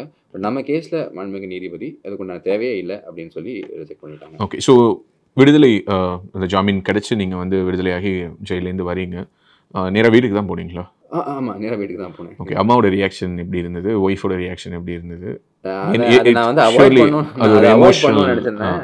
அது எனக்கு தெரியும் அவங்க எமோஷனலி ப்ரோக்கன் டவுனாக இருப்பாங்க. பட் என்னன்னா நிறைய பேர் அங்கே இருந்தாங்க. இல்லை ஏன்னா நான் ஏன் இந்த கேள்வி கேட்குறேன்னா அந்த பத்து நாள் நீங்கள் உள்ளார இருக்கீங்க. உங்களுக்கு இந்த வழக்கினுடைய உண்மைத்தன்மை முழுசாக தெரியும். நிறைய விஷயங்கள் நம்ம பண்ணுற எல்லாத்தையுமே நம்ம வீட்டில் ஃபுல்லாக சொல்லியிருப்போமா அப்படிங்கிறது ஒரு டவுட் தான். நம்ம நல்லது பண்ணாலும் சரி கெட்டது பண்ணாலும் சரி வீட்டுக்கு தெரிய வேணாம். தேவையில்லாமல் எதுக்கு உங்களுக்கு ஒரு ப்ரெஷரை கொடுத்துட்டேன்னு சொல்லிட்டு மேபி இந்த சோஷியல் மீடியாவில் உங்களுக்கு எதிராக ஒரு பின்னப்பட்ட நெட்ஒர்க்கை கூட நீங்கள் முழுசாக அவங்க வீட்டில் சொல்லியிருக்க மாட்டீங்க. இந்த சீரியஸ்னஸ் அவங்களுக்கு புரியாமல் இருந்திருக்கும். அப்படி இருக்கும்போது இந்த பத்து நாளில் சோஷியல் மீடியாவில் தொடர்ந்து உங்களை பற்றி பேசிகிட்டே இருக்காங்க. என்ன பேசுகிறாங்கன்னா பாஜக ஆதரவு யூடியூபர் பண மோசடி செய்து விட்டார். பல கோடிகளை திருடி விட்டார். அண்ணாமலை இதில் ஏ ஒன் இவர் ஏ டூ இப்படியெல்லாம் பல விதமான விமர்சனங்கள். இன்னும் சொல்ல போனால் செய்தி தொலைக்காட்சிகளே அந்த மாதிரியான நியூஸ் எல்லாம் பப்ளிஷ் பண்ணும்போது நீங்கள் இது எதையுமே பார்க்க போகிறதில்ல பிகாஸ் உங்களை இந்த யூடியூப் சேனல்ஸ் ரீச் அவுட் பண்ணல உங்களை இந்த டெலிவிஷன் சேனல்ஸ் ரீச் அவுட் பண்ணல. இது எல்லாத்தையும் அவங்க பார்த்துக்கிட்டே இருக்காங்க. அது ஒரு திருத்தம் இருக்கு. என்னன்னா பேப்பர் வந்து வரும். சில செல்லுக்கு மட்டும் ஓகே ஆமாம் நியூஸ் பேப்பர் மட்டும் மட்டும் வரும். அந்த நியூஸ் பேப்பரை வந்து எடுத்து படிச்சு அங்க இருக்கக்கூடிய சீனியர் கான்விக்ஸ் எல்லாம் இருப்பாங்க பாத்தீங்களா? அவங்கலாம் தலைவரே இங்க பாருங்க இது நீங்க தானே? அப்படின்னு டெய்லி அவங்களுக்கு என்ன தெரியுதோ இல்லையோ இது வந்து அப்டேட் கொடுத்துருவாங்க. இந்த பாருங்க இந்த பேப்பர்ல எப்படி போட்டிருக்கான் இந்த பேப்பர்ல எப்படி போட்டிருக்கான் இந்த பேப்பர்ல எப்படி போட்டிருக்கான் ஓகே. ஸோ அதனால அந்த அப்டேட் எனக்கு வரும். இல்ல உள்ளார கொஞ்சம் மொபைல் ஃபோன்லாம் வச்சிருக்காங்க கேள்விப்பட்டேன் யாரும் யூடியூப்ல எதுவும் பார்த்து சொல்லி மொபைல் ஃபோன்லாம் கிடையாது. மொபைல் ஃபோன்லாம் நான் பார்க்கல எனக்கு தெரிஞ்சு இல்லை. ஸோ மொபைல் ஃபோன்லாம் பிடிச்சிருக்காங்கன்னு கேள்விப்பட்டிருக்கேன். பட் அது ரொம்ப ஸ்ட்ரிக்டாக பார்ப்பாங்க மொபைல் ஃபோன்லாம் இல்லாமல் இருக்கிறது because it is it'll it's it'll create huge problem for the establishment அதனால அவங்க ஓகே. ஸோ எகெயின் ஸோ வீட்டில் இந்த விஷயங்களை எல்லாம் பார்த்து அவங்க வேற மாதிரியான ஒரு மனநிலையில் இருந்திருப்பாங்க. So once you back to home. அவங்களோட முதல் உணர்வு எப்படி இருந்தது? கண்டிப்பாக எமோஷனலாக இருந்திருக்கும். பட் அதர் தன் தட் அம்மா என்ன சொன்னாங்க? ஒய்ஃப் என்ன சொன்னாங்க? ஏன்டா இதெல்லாம்? அப்படின்னு தான் முதல்ல அம்மா எதுக்கு உனக்கு அந்த சொல்லியிருப்பாங்க வேலை அப்படிங்க? சரி ஆக்சுவலி என்னன்னா சார் அந்த நேரத்தில் பார்த்தீங்கன்னா நிறைய பேர் வீட்டில் இருந்தாங்க. சொந்த பந்தங்கள் தாண்டி நண்பர்கள் அப்புறம் தேசியவாதிகள் பாஜக நண்பர்கள் அப்புறம் வந்து வேறு கட்சியிலேருந்தெல்லாம் ஆட்கள்லாம் வந்திருந்தாங்க. வந்து வரவேற்றாங்க. சர்ப்ரைஸ் நீங்கள்லாம் உண்மையிலேயே இதுக்கு வேண்டி வந்திருக்கீங்களா அப்படிங்கிற அளவுக்கு பார்த்தேன். I I want to avoid அம்மா வந்து நான் அவாய்ட் பண்ண விரும்புகிறேன் ஏன்னா அது சும்மாவே சின்ன விஷயத்துக்கு டென்ஷன் ஆகக்கூடிய ஒரு டைப்பு ஸோ நான் அவங்ககிட்ட முதலே சொல்லிட்டேன். பப்ளிக் லைஃப்பில் இருக்கேன். அது உங்கள் தலையெழுத்து. அதான் என் அம்மா சொல்லுவாங்க. நல்ல நேரத்தில் பெற்றேனே ஏன் இந்த வேலை உனக்கு? அப்படின்னு எப்போவுமே அவங்க கூடிய கேட்கக்கூடிய ஒரு கேள்வி தான் but I wanted to avoid that situation அம்மாவை வந்து நான் வந்து பா பார்க்க விரும்பல. பட் ஒய்ஃபுக்கு வந்து ஒய்ஃபையும் நான் வந்து மோஸ்ட்லி நான் அவங்ககிட்ட எதுவும் சொல்ல முடியாது. ஏன்னா நம்ம பண்ணக்கூடிய எல்லா விஷயங்களும் அவங்ககிட்ட சொல்லியிருந்தா அவங்களுக்கு ஒரு பேர்டனாக இருக்கும் அதை பற்றி ஸோ நான் அவங்ககிட்ட சொல்கிறது ஒரே விஷயம். அப்பாவுக்கு எல்லாம் தெரியும். அப்பா is more of a friend to me நண்பர் மாதிரி. ஸோ அப்பாவுக்கு தெரியும். அப்பா ஓரளவுக்கு சொல்லி வச்சிருப்பாரு அப்படிங்கிற ஒரு எக்ஸ்பெக்டேஷன் எனக்கு இருந்தது.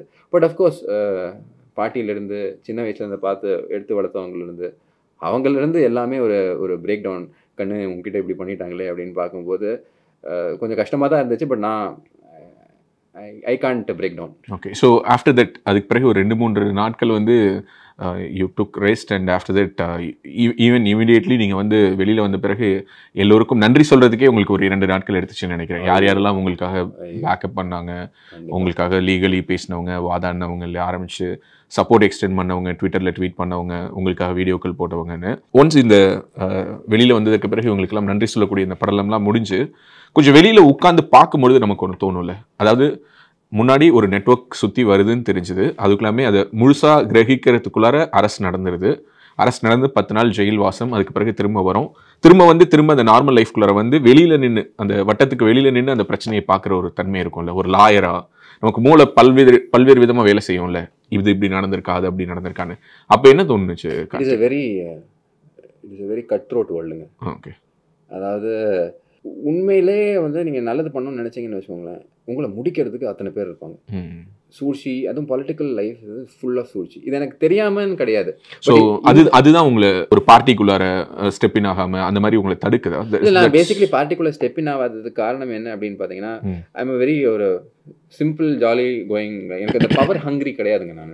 பவர் ஹங்கிரி கிடையாது. பவுண்டரிஸ் வேணாம் நினைக்கிறீங்களா? ஆமாம் எதுக்கு? அந்த. சிஸ்டத்துக்குள்ளே போனோம் இப்போ ஒரு தேவை கிடையாது. சி இப்போ அப்படியே போனோம் அப்படின்னு இருந்தாலும் ஆப்வியஸ்லி ஒரு தேசியவாத சிந்தனை தான் அண்ணாமலை அவர்கள் போன்ற ஆட்கள் இருக்காங்க. They doing a wonderful job so எனக்கு வந்து இன்னும் நிறைய படிக்கிறதுக்கும் நிறைய ட்ராவல் பண்ணுறதுக்கும் at the same time activities on the ground இறங்கி பண்ணுறதுக்கும் ஒரு பொலிட்டிக்கல் கலர் இல்லாமல் இருந்தால் பெட்டராக இருக்குமே அப்படின்னு நான் என்றைக்குமே யோசிச்சிருக்கேன். அது அது இன்னும் கூட இன்னும் கூட மாறலை. But at the same time ஒரு பாயிண்ட் பொலிட்டிக்கல் பொலிட்டிக்கல் இன்ஸ்டிடியூஷனுக்குள்ளே ஸ்டெப் பண்ணோம் அப்படிங்கிற ஒரு ஸ்ட்ராங் அர்ஜும் இருந்தது. அதை நான் இல்லைன்னு சொல்ல மாட்டேன். I always wanted to have a political ஒரு அர்ஜ் இருக்குது பட் ரேஷனலாக திங்க் பண்ணும்போது எதுக்கியா? ஜாலியாக இருக்கும். அப்படின்னு சொல்லிட்டு அந்த ஒரு ஒரு என்ன சொல்கிறது ஒரு jolly type of my I mean jolly side of me said don't take this risk already already you're taking so much risk அப்படிங்கிற மாதிரி தோணுச்சு. பட் இந்த இன்ஸ்டிடியூஷனுக்குள்ளே போகக்கூடிய அர்ஜ் இருக்கும் பார்த்தீங்களா அதை நான் வெளியே வந்து பார்க்கும்போது என்ன காட்டுது அப்படின்னு பார்த்தீங்கன்னா இந்த இந்த இந்த இன்ஸ்டிடியூஷனல் பாலிடிக்ஸ் இருக்கு பார்த்தீங்களா it is filled with venom அதனால் நீங்கள் அப்சல்யூட்லி ஸ்ட்ரெயிட் ஃபார்வர்டாக இருக்கணும். கொஞ்சம் கூட காம்ப்ரமைஸ் இருக்கக்கூடாது. ஒரு காம்ப்ரமைஸ் பண்ணிங்கன்னா லைஃப் லாங் காம்ப்ரமைஸ் பண்ண வேண்டியது. ஒரு சின்ன காம்ப்ரமைஸ் எல்லா லைஃப்பும் காம்ப்ரமைஸ் பண்ண அதுக்கப்புறம் நீ வந்து நான் இதை பண்ணிட்டேன். அதெல்லாம் கிடையவே கிடையாது. ஸோ அந்த பேட்டிலுக்கு ரெடி ஆகணும்னா இட் அதனால தான் திரு அண்ணாமலை அவர்களை நான் அவ்வளோ அப்ரிஷியேட் பண்ணுறேன் டுக் சிக்ஸ் மந்த்ஸ் ஆஃப் போகிறாரு learns about himself learns about life learns about spirituality அதுக்கப்புறம் வராரு. இறங்கி என்ன தான் பிரச்சனை இருந்தாலும் மேலேருந்து ஒரு சப்போர்ட் வருது. ஸோ அது எல்லாராலையும் பண்ண முடியுமா? அப்படின்னு ஒரு பரிசோதனை பண்ணணும். எக்ஸாக்ட்லி நியாயமான ஒரு ஒரு- இன்ட்ராஸ்பெக்ஷன் அண்ட் முக்கியமான ஒரு விஷயம் என்னென்னா ஆஃப்டர் இந்த வழக்கு வெளியில் வந்ததற்கு பிறகும் மறுபடியும் அவ்வப்பொழுது இதுக்கான விசாரணை தொடர்ந்து நடந்துக்கிட்டே இருக்குது. இந்த பீரியடில் இவங்க எல்லாரையும் தாண்டி நீங்கள் யாருக்காக இந்த பணத்தை கலெக்ட் பண்ணீங்களோ அல்லது எந்த ஊர் மக்களுக்காக இந்த பணத்தை கலெக்ட் பண்ணீங்களோ அவங்களோட உணர்வு எப்படி இருந்தது? ஹவு தே அவங்க உங்களை பார்க்கக்கூடிய அந்த பார்வை அதில் ஏதாவது மாற்றம் இருந்ததா? அதை பற்றி சொல்லுங்களேன். பிகாஸ் நம்ம யாருக்காக கஷ்டப்படுறோமோ அவங்களுக்கே அது புரியலைனா அப்படிங்கிற ஒரு எண்ணம் இருக்கும்ல. அது எப்படி இருந்தது? ரெண்டு விஷயம் இருக்குது. ராஜு. ஒன்று வந்து அந்த ஊர் மக்களுக்கு வேண்டி டெஃபினட்டாக ரெண்டாவது என்ன அப்படின்னு பார்த்தீங்கன்னா நம்ம கலாச்சார குறியீடாக இருக்கக்கூடிய கிராம கோயில்கள். இதெல்லாம் வந்து நீங்கள் ஆகம வெளிப்படி எஸ்டாப்ளிஷ் பண்ண பெரிய கோயில்கள்லாம் கிடையாது. கிராம கோயில்கள் இந்த பிரைவேட் டெம்பிள் அம்மனோட உப கோயில் இருக்குல்ல அதுவுமே கிராம கோயில்கள் தான். செல்லியம்மன் பெரிய பெரிய சிலைகள் ஒவ்வொன்றும். நீங்கள் பார்த்தீங்கன்னா நான் உங்களுக்கு அது ஃபோட்டோஸ் எல்லாம் காட்டுறேன். நான் ஒரு வீடியோ பார்த்தேன் அந்த ஒரு சுதை சிற்பம் பெருசா செஞ்சுட்டு பெருசா இருப்பாங்க. ஸோ அந்த அந்த கிராம கோயிலோட நம்பிக்கையை சிதைச்சிட்டாங்கன்னு வச்சுக்கோங்களேன். அடுத்த தலைமுறை பசங்கள்லாம் இருக்காங்க குழந்தைங்கலாம் இப்போ நேற்று நான் போகும்போது ஒரு குழந்தை இருக்காரு. அவங்க அப்பா வந்து ஃபாரினில் இருக்காரு. அந்த தண்ணியை ஊற்றுறது அந்த அந்த குழந்தை ம். ஸோ அது வந்து அந்த கிராஸ் ரூட் லிங்கேஜ் இருக்குது பார்த்தீங்களா அதற்கு அதுவும் ரெண்டாவது காரணம். ஒன்று அந்த மக்களுக்காக. ரெண்டாவது முகம் தெரியாத மக்கள். அங்கே போய் பார்க்கும்போது தான் தெரியுது. அவங்க இந்த இந்த குற்றச்சாட்டுலாம் அப்படியே கிளம்பிக்கிட்டு இருக்கும்போது அவங்கள நான் போய் பார்க்குறேன். நேரில் ஓ இந்த பிரச்சனை நடக்கும்போதே போறீங்க. ஆமாம் ஆக்சுவலி என்னன்னா இந்த ரெண்டு கோயிலுமே பார்த்தீங்கன்னா அந்த கோயில் பெரிய கோயில் இருக்குல்ல அதுக்கு செலவு ஜாஸ்தி. இந்த இந்த கிராம கோயிலில் வந்து பார்த்தீங்கன்னா மொத்தம் ஒரு நாலு டு அஞ்சு லட்சம் அவ்வளோதான் மேக்ஸிமம் ஓவரால் அதுக்கு செலவு பண்ணப்பட்டிருக்கும். ஏன்னா அந்த காம்பவுண்ட்லாம் இருக்குது சிலைகள் திருப்பி பண்ணணும் கும்பாபிஷேகம் பண்ணணும். ஸோ இந்த ப்ரைவேட் கோயிலுக்கு இப்போ நடந்திருக்குல்ல. ஸோ அதில் பார்த்தீங்க அப்படின்னா மிலாப்லேருந்து நான் ஒரு லட்சம் எடுத்து கொடுத்துருக்கேன். ஏன்னா மக்கள் கான்ட்ரிபியூஷன் அதுலேயும் இருக்கும் பாக்கி வந்துட்டு it's from my personal funds என்னோட அக்கௌண்ட்டை முடக்கி வச்சுருக்காங்க. மிலாப்போட ஃபண்டையும் இப்போ முடக்கி வச்சுருக்காங்க. ஓகே. ஸோ இது எல்லாம் தாண்டி அவங்க என்ன அங்கே போய் அவங்க பார்க்கும்போது கண்ணு இது இது போதும் கண்ணு இது நல்லா இருக்கு. பாக்கி வந்து இந்த மேலே ஏதாவது கட்டணும் ஃபியூச்சரில் ஏதாவது கட்டணும் அப்படின்னா நாங்கள் பார்த்துக்குறோம் ஏன்னா இந்த கோயிலும் எனக்கு தான் அந்த கோயிலும் எனக்கு ஓகே தான் நீங்க சொல்றது இப்போ நேத்து கும்பாபிஷேகத்து போது ஓகே. ஸோ அவங்களோட அந்த எண்ணங்கள் எப்படி இருக்குன்னு பார்த்தீங்கன்னா எங்களுக்கு இந்த கோயில் கிடைச்சா போதுங்க. இந்த அரசியல்லாம் எனக்கு தெரியாதுங்க. என்ன ஏதுனே தெரியாது. ஒவ்வொருத்தரும் ஒவ்வொரு ஊரில் வராங்க. சிலவங்க பசங்கள்லாம் பார்த்தீங்கன்னா ஃபாரினில் இருக்காங்க. அவங்க அவங்களுக்கு வந்துட்டு there are by the politics இந்த பாலிடிக்ஸ்னால இந்த கோயில் கட்டப்படா ஆகிடுமோ ஆயிடுமோ அப்படிங்கிறது தான் ஸோ அவங்களுக்கு இதை பார்த்த உடனே சிலவங்க வந்து இந்த விஷயங்கள் ஃபுல்லாக பார்க்கக்கூடிய ஆட்கள் அவங்க சில ஆட்கள் அவங்க சொல்கிறாங்கன்னா தம்பி வச்சு செஞ்சுருக்காங்க தம்பி உங்களுக்கு தெரியுது ரொம்ப கஷ்டப்பட்டிருக்கீங்க. இது ஒவ்வொன்றும் பார்க்கும்போது மனசு கஷ்டமாக இருந்தது. ஆனால் எங்களால் என்ன பண்ண முடியும்? ஏதாவது எதிர்ப்பு இருந்தது அவங்க எந்த எதிர்ப்பும் இல்லை சார் ஓகே ஸோ இப்போ நீங்கள் போயிட்டு ஒரு ஒரு கோவிலுடைய கும்பாபிஷேகம் அதாவது ரெண்டு கோவில் ஒன்று வந்து ஹெச்ஆர்என்சி ஒன்று வந்து தனியார் கோவில். நீங்கள் முதல்ல இந்த நிதி திரட்ட தொடங்கின இந்த ப்ராசஸ் வந்து ஸ்டார்ட் ஆகும்போது முதல்ல நீங்கள் திரட்ட ஆரம்பிக்கிறது அந்த அப்படி கிடையாது. இல்லை இல்லை. ஒரு கோவிலுக்கு அப்படின்னு சொல்லி அந்த நிதி திரட்டல்ங்கிறது தொடங்குனுச்சா? அது ஆக்சுவலி தப்பு. நீங்கள் வந்து அந்த நிதி திரட்டும் போது அந்த ஃபோட்டோ பார்த்தீங்கன்னா. ஒரு கோயில் வந்து இந்த ப்ரைவேட் டெம்பிளாக இருக்கும். இன்னொன்று வந்துட்டு மலை மேலே இருக்கக்கூடிய கோயில் ரெண்டு ஃபோட்டோவும் போட்டு தான் அந்த நிதி திரட்ட ஆரம்பிச்சது. ஓகே. ஸோ ஏன்னா இது சைமல்டேனியஸ் இவெண்ட்ஸ் இங்கேயும் நடக்குது இங்கேயும் நடக்குது. அதனால தான் வாஸ் வரிட் ஸோ அது ரெண்டுத்தையுமே போட்டு தான் ஆரம்பிக்கிறோம். ஆனால் இது வந்து ஒரு ஸ்மாலர் ப்ராசஸ் இந்த மக்கள் தான் இதையும் கும்பிட்ற இந்த பெரிய கோயிலையும் கும்பிட்றாங்க சின்ன கோயிலையும் கும்பிட்றாங்க. ஓகே ஒன்று வந்து ஹெச்ஆர்என்சி கட்டுப்பாட்டு கீழேயும் ஒன்று வந்து தனியார். தனியார். தனியார்னா பார்த்தீங்கன்னா ஒரு ஊர் மக்கள் எல்லாம் சேர்ந்து. இருபது முப்பது குடும்பங்கள் மெயினாக அதை தான் அந்த கோயிலை தான் கும்பிடுவாங்க அப்படின்னு சொல்லிட்டு அதை புனரமைக்கணும்னு கஷ்டப்பட்டுட்டு இருந்தாங்க. நிறைய கிராமங்கள் இருக்குல்ல சுற்றி அந்த கிராமங்கள் வந்து அந்த வந்து மெயின் கடவுளாக நினச்சிருக்காங்க. ஓகே ஸோ இப்போ இந்த கும்பாபிஷேகம் அப்படிங்கிறது நீங்கள் இப்போ வெளியில் வந்ததற்கு பிறகு நீங்கள் ஏற்கனவே உங்களுடைய சேனல்லையும் சொல்லியிருந்தீங்க. உங்களுடைய அக்கௌண்ட்ஸை ஃப்ரீஸ் பண்ணியிருக்காங்க உங்களுடைய பர்சனல் அக்கௌண்ட்ஸை அண்ட் as well as உங்களுடைய மில்லாப் அக்கௌண்ட்டும் இப்போ ஃப்ரீஸில் வந்து அவங்க சொல்லியிருக்காங்க no no further funds should be release to any temple okay நான் என்ன கேட்டேன்னா அவங்க கிட்ட ஐயா சிம்பிள் இந்த கோயிலை கட்டக்கூடிய ஸ்தபதி இருக்காங்கல்ல அவங்க அக்கௌண்ட்டுக்கு இந்த ஊர் மக்கள் சொல்லக்கூடிய ஸ்தபதி அக்கௌண்ட்டுக்கு நான் அனுப்பணும். அதுக்கு நல்ல வேலை இவங்க ஃப்ரீஸ் பண்ணுறதுக்கு முன்னாடி என்னால் ஒரு லட்சம் அனுப்ப முடியுது. ஏன்னா கோயில் வேலை ஸோ அந்த தனியாக ஒரு லட்சம் ரூபாயில தான் அந்த அட்வான்ஸ் வாங்கி தான் அந்த வேலைகள்லாம் அந்த நடந்து ஒரு ஒரு லட்சம் ரூபாய் அவங்களுக்கு கொடுக்கப்பட்டிருக்கு. சரிங்களா? இப்போ அதை தாண்டி பாக்கி இருக்கிறது இவன் எல்லாத்தையும் பிளாக் பண்ணிட்டான். ஸோ அதை தாண்டி நான் என்ன பண்ணோன்னா ஃபேமிலி ஃபண்ட்ஸ் இருக்கும்ல பார்த்தீங்களா? அதில் இந்த அம்மா அப்பாவோட அக்கௌண்ட்ல இருந்து அந்த ஸ்தபதிக்கு டைரெக்டாக அக்கௌண்ட் பண்ணி எல்லாத்தையும் அதுவும் எப்படின்னா அவங்க ஒரு சொல்லுவாங்க சார் இந்த அளவுக்கு வேலை முடிஞ்சிச்சு. அப்போ ஒன் லேக் அனுப்புங்க. இந்த அளவுக்கு வேலை முடிஞ்சிச்சு ஒன் லேக் அனுப்புங்க. இந்த அளவுக்கு வேலை முடிஞ்சிச்சு இன்னொரு ஒன் லேக் அனுப்புங்க. இந்த கும்பாபிஷேகம் முடிஞ்சு பாக்கி சில்லற வேலையெல்லாம் முடிஞ்சிச்சு. அப்போ இந்த பாக்கி அமௌண்ட் அனுப்புங்கன்னு அங்கே இருக்கக்கூடிய மக்கள்லாம் சொல்லக்கூடிய அந்த அடிப்படையில் இந்த எல்லாத்தையும் பேங்க் ட்ரான்ஸ்ஃபர் டைரெக்டாக ஸ்தபதிக்கு பண்ணுறேன் ஓகே ஒரு முப்பத்தி ரெண்டு லட்சம் ரூபாய் வந்து மில்லாப்ல கலெக்ட் ஆனது. அதுல. அதுல ரஃப்லி இன்னும் அந்த- அந்த அதுல வந்து முப்பத்தி ரெண்டு லட்சம் ரூபாய் அப்படியே இருக்கு. அப்படியே இருக்கு. ஆமா. முப்பத்தி ரெண்டு லட்சமா இல்ல முப்பத்தி ஒரு லட்சமா? ஏதாவது ஒன் லேக் அங்க இருந்து அது அப்படியே இருக்கு. ஆமா. ஆனா நீங்க கையில இருந்து அதுல இருந்து எடுக்காம விட்ரால் பண்ணாம இது வரைக்கும் எவ்வளவு கொடுத்துருக்கீங்க? கிட்டத்தட்ட ஒரு மூணு லட்சத்தி சில்லற கொடுத்திருப்பேன். அதாவது இவங்களுக்கு. ஏன்னா இந்த சிலை கட்டுறதுக்கே மூணு லட்சத்தி ஐம்பதாயிரம் ரூபாய் ஆகுது. ஸோ மூணு லட்சத்தி ஐம்பதாயிரம் ஒரு லட்ச ரூபா நம்ம அங்கே கொடுத்துருக்கோம்.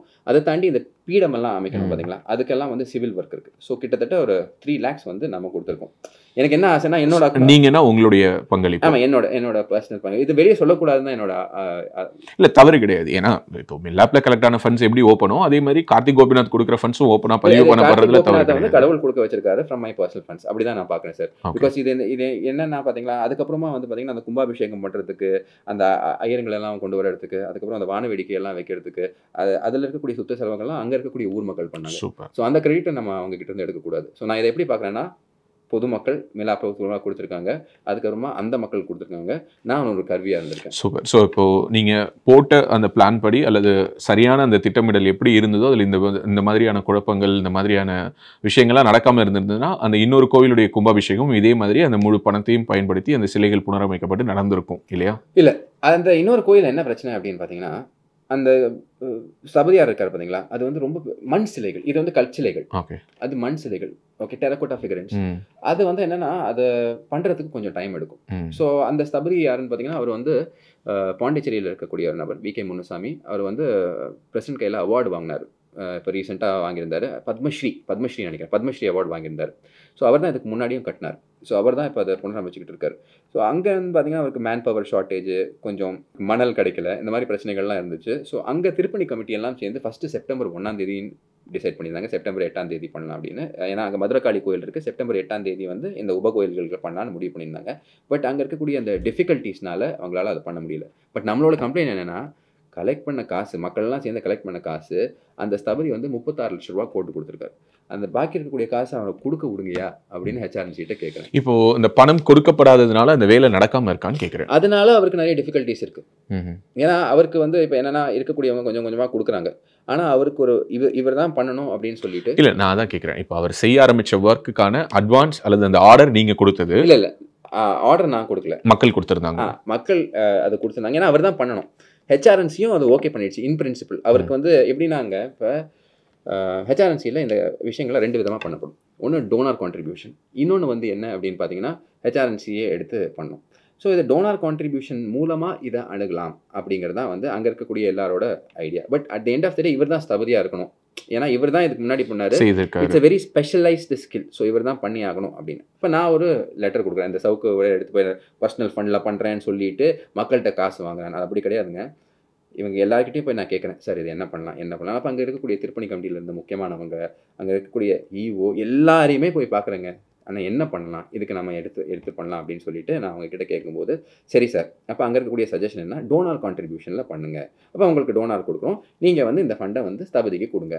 அப்போ பொதுவாக எல்லாருமே எல்லா டோனார் கான்ட்ரிபியூஷனில் என்ன போடப்படும் அப்படின்னு பார்த்தீங்கன்னா இது என் சொந்த செலவில் செய்யப்படும். எந்த விதமான உரிமையும் இந்த கோவிலில் நான் பண்ண மாட்டேன் அந்த உபயதாரர்னு சொல்லுவாங்க. பார்த்தீங்களா அந்த இதை கொடுக்குறாங்க. அஃப்கோர்ஸ் இது more like crowd funding movie தான். இப்போ ஆயிரம் பேர் ரெண்டாயிரம் பேர் பத்தாயிரம் பேர் ஒரு பணம் கொடுத்து ஒரு படம் எடுத்தாலும் பத்தாயிரம் பேருடைய பேரையும் போட முடியாது. எண்ட் ஆஃப் தி டே அதில் யாரோ ஒருவருடைய பேரில் தான் அந்த படத்தை வந்து வெளியிடுவாங்க. Crowd funding crowd funded by அப்படின்னு சொல்லிட்டு கீழே வேணா.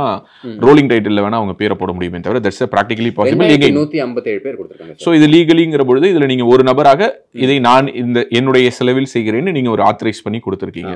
ஓகே ஸோ இப்போ அது என்னாச்சுன்னா.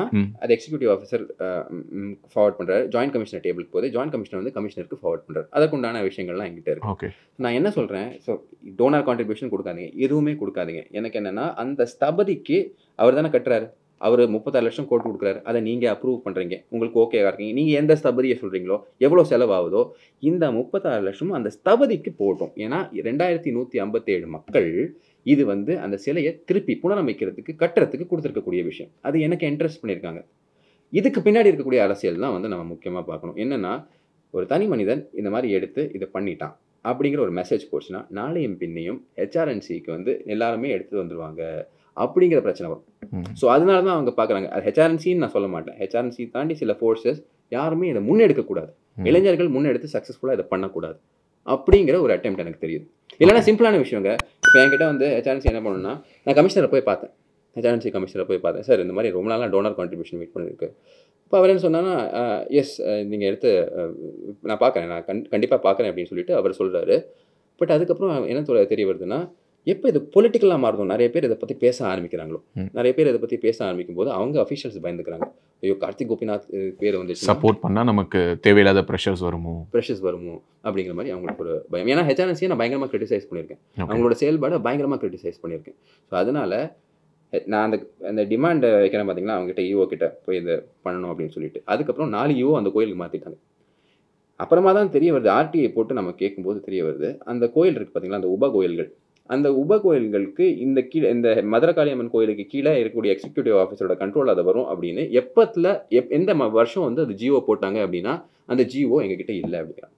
ஆயிரத்தி தொள்ளாயிரத்தி அறுபத்தி ஏழில் போட்டவங்க ஆனால் ஜியோ எங்ககிட்ட இல்லை அப்படிங்கிறாங்க. அப்போ அதுக்கு ஃபிட் பர்சன் எங்கே? அதுக்கு உண்டான அறங்காவலர் எங்கே? அப்படின்னு கேட்டால் அவங்களோட அப்பாயின்மெண்ட் எப்போ பண்ணோம் ஆனால் வந்து அந்த மூணு வருஷத்துக்கு மேலே ஃபிட் பர்சன் வைக்கக்கூடாது. அறங்காவலரை ரெகுலராக மாற்றணும் அப்படி அறங்காவலர் அறங்காவலர் வந்து ஒரு கவர்மெண்ட் ஆளாக இருக்கக்கூடாது. ஈஓ இந்த முடிவெல்லாம் எடுக்கக்கூடாது அப்படிங்கிற நிறைய விதிமுறைகள் இங்கே மீறப்பட்டிருக்கு. அதெல்லாம் தள்ளி வைக்கிறேன். அதை தாண்டி ஒரு ஈஓ வச்சு ஒரு கம்ப்ளைண்ட் போட்டு பியூஷ் மனோஜ் கிளப்பி விடுறாங்க. அப்போ அரசாங்கம் என்ன நினைக்குது அப்படின்னு பார்த்தீங்கன்னா இவரை வச்சு போட்டால் ஓகே அரசியல்னு எல்லாம் புரிஞ்சுப்பாங்க. ஈஓ போடுற மாதிரி நீ ஈஓ வச்சு ஒரு கம்ப்ளைண்ட் கொடுத்து அந்த கம்ப்ளைண்ட்டை உடனே ரெடி பண்ணி நம்மளை வந்து அரெஸ்ட் ஓகே ஈவோ கொடுத்த கம்ப்ளைண்டின் அடிப்படையில் தான் நீங்கள் கைது செய்யப்பட்டீங்க அதையும் நம்ம பார்த்தோம். எனக்கு இப்போ கேள்வி என்னன்னா இப்போ அந்த ஸ்தபதி வந்து திரு முனுசாமி அவர்கள் வந்து சிலை செய்துகிட்டு இருக்காரா? ஆமாம் அது என்ன என்ன நிலையில இருக்கு? அது அது நான் உங்களுக்கு ஃபோட்டோஸ் எல்லாம் இப்போ நான் இல்ல அது நிறைவடையக்கூடிய நிலையில இருக்கா? அது எப்படின்னா ஜனவரியில் அந்த ஊர் மக்கள்லாம் சேர்ந்து திருப்பணி கமிட்டி அவங்கெல்லாம் ஸோ பேசி இப்போ உங்க ஃபண்டை எடுக்காமலே மக்களே திரட்டி அதாவது மக்களே கிடையாது. ஓகே ஊர்ல இருக்கக்கூடிய ஒன்று ரெண்டு பெரிய ஆட்கள்.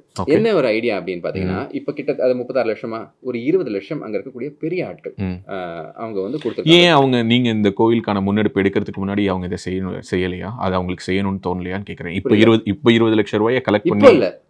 அவங்க வந்து நான் இதான் சொல்றேனே இது எப்படின்னா நாம இங்க போய் பேசுறோம் அங்க இருக்கக்கூடிய ஆட்கள்ட்டெல்லாம் பேசுறோம் டோனார் கான்ட்ரிபியூஷன் த்ரூ பண்ணோம் அப்படின்னு கேட்கும்போது அவங்க என்ன முடிவு எடுக்கிறாங்கன்னா இதுக்கு ஒரு ப்ராசஸ் இருக்கு. இங்க இருந்து போனோம் அப்புறம் வந்து திருச்சியில வந்து இவங்க உட்காருவாங்க. திருச்சியில உட்காந்து வந்து அந்த பிளான் விகே முனுசாமி கொடுத்த பிளானை அப்ரூவல் பண்ணோம். பிளானை அப்ரூவல் பண்ணி அதுக்கப்புறம் ஜேஎஸ்சி ஜாயின்ட் கமிஷனருக்கு அனுப்புவாங்க. ஜாயின்ட் கமிஷனர் டேபிள்ல இருந்து கமிஷனர் டேபிளுக்கு போகும் ஸோ இந்த அப்ரூவல்லாம் நீங்க நம்ப மாட்டீங்க.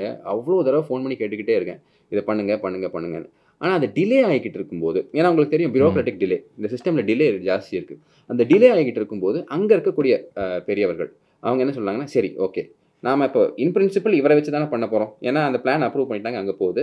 நான் வந்து இப்போதைக்கே பத்து லட்ச ரூபா கொடுக்குறேன். அப்படின்னு சொல்லிட்டு அவர் டேரெக்டாக ஸ்தபதிக்கு கொடுக்குறாரு. ஸோ அதன் அடிப்படையில் அவர் பாண்டிச்சேரியில் சில செய்ய ஆரம்பிக்கிறார்.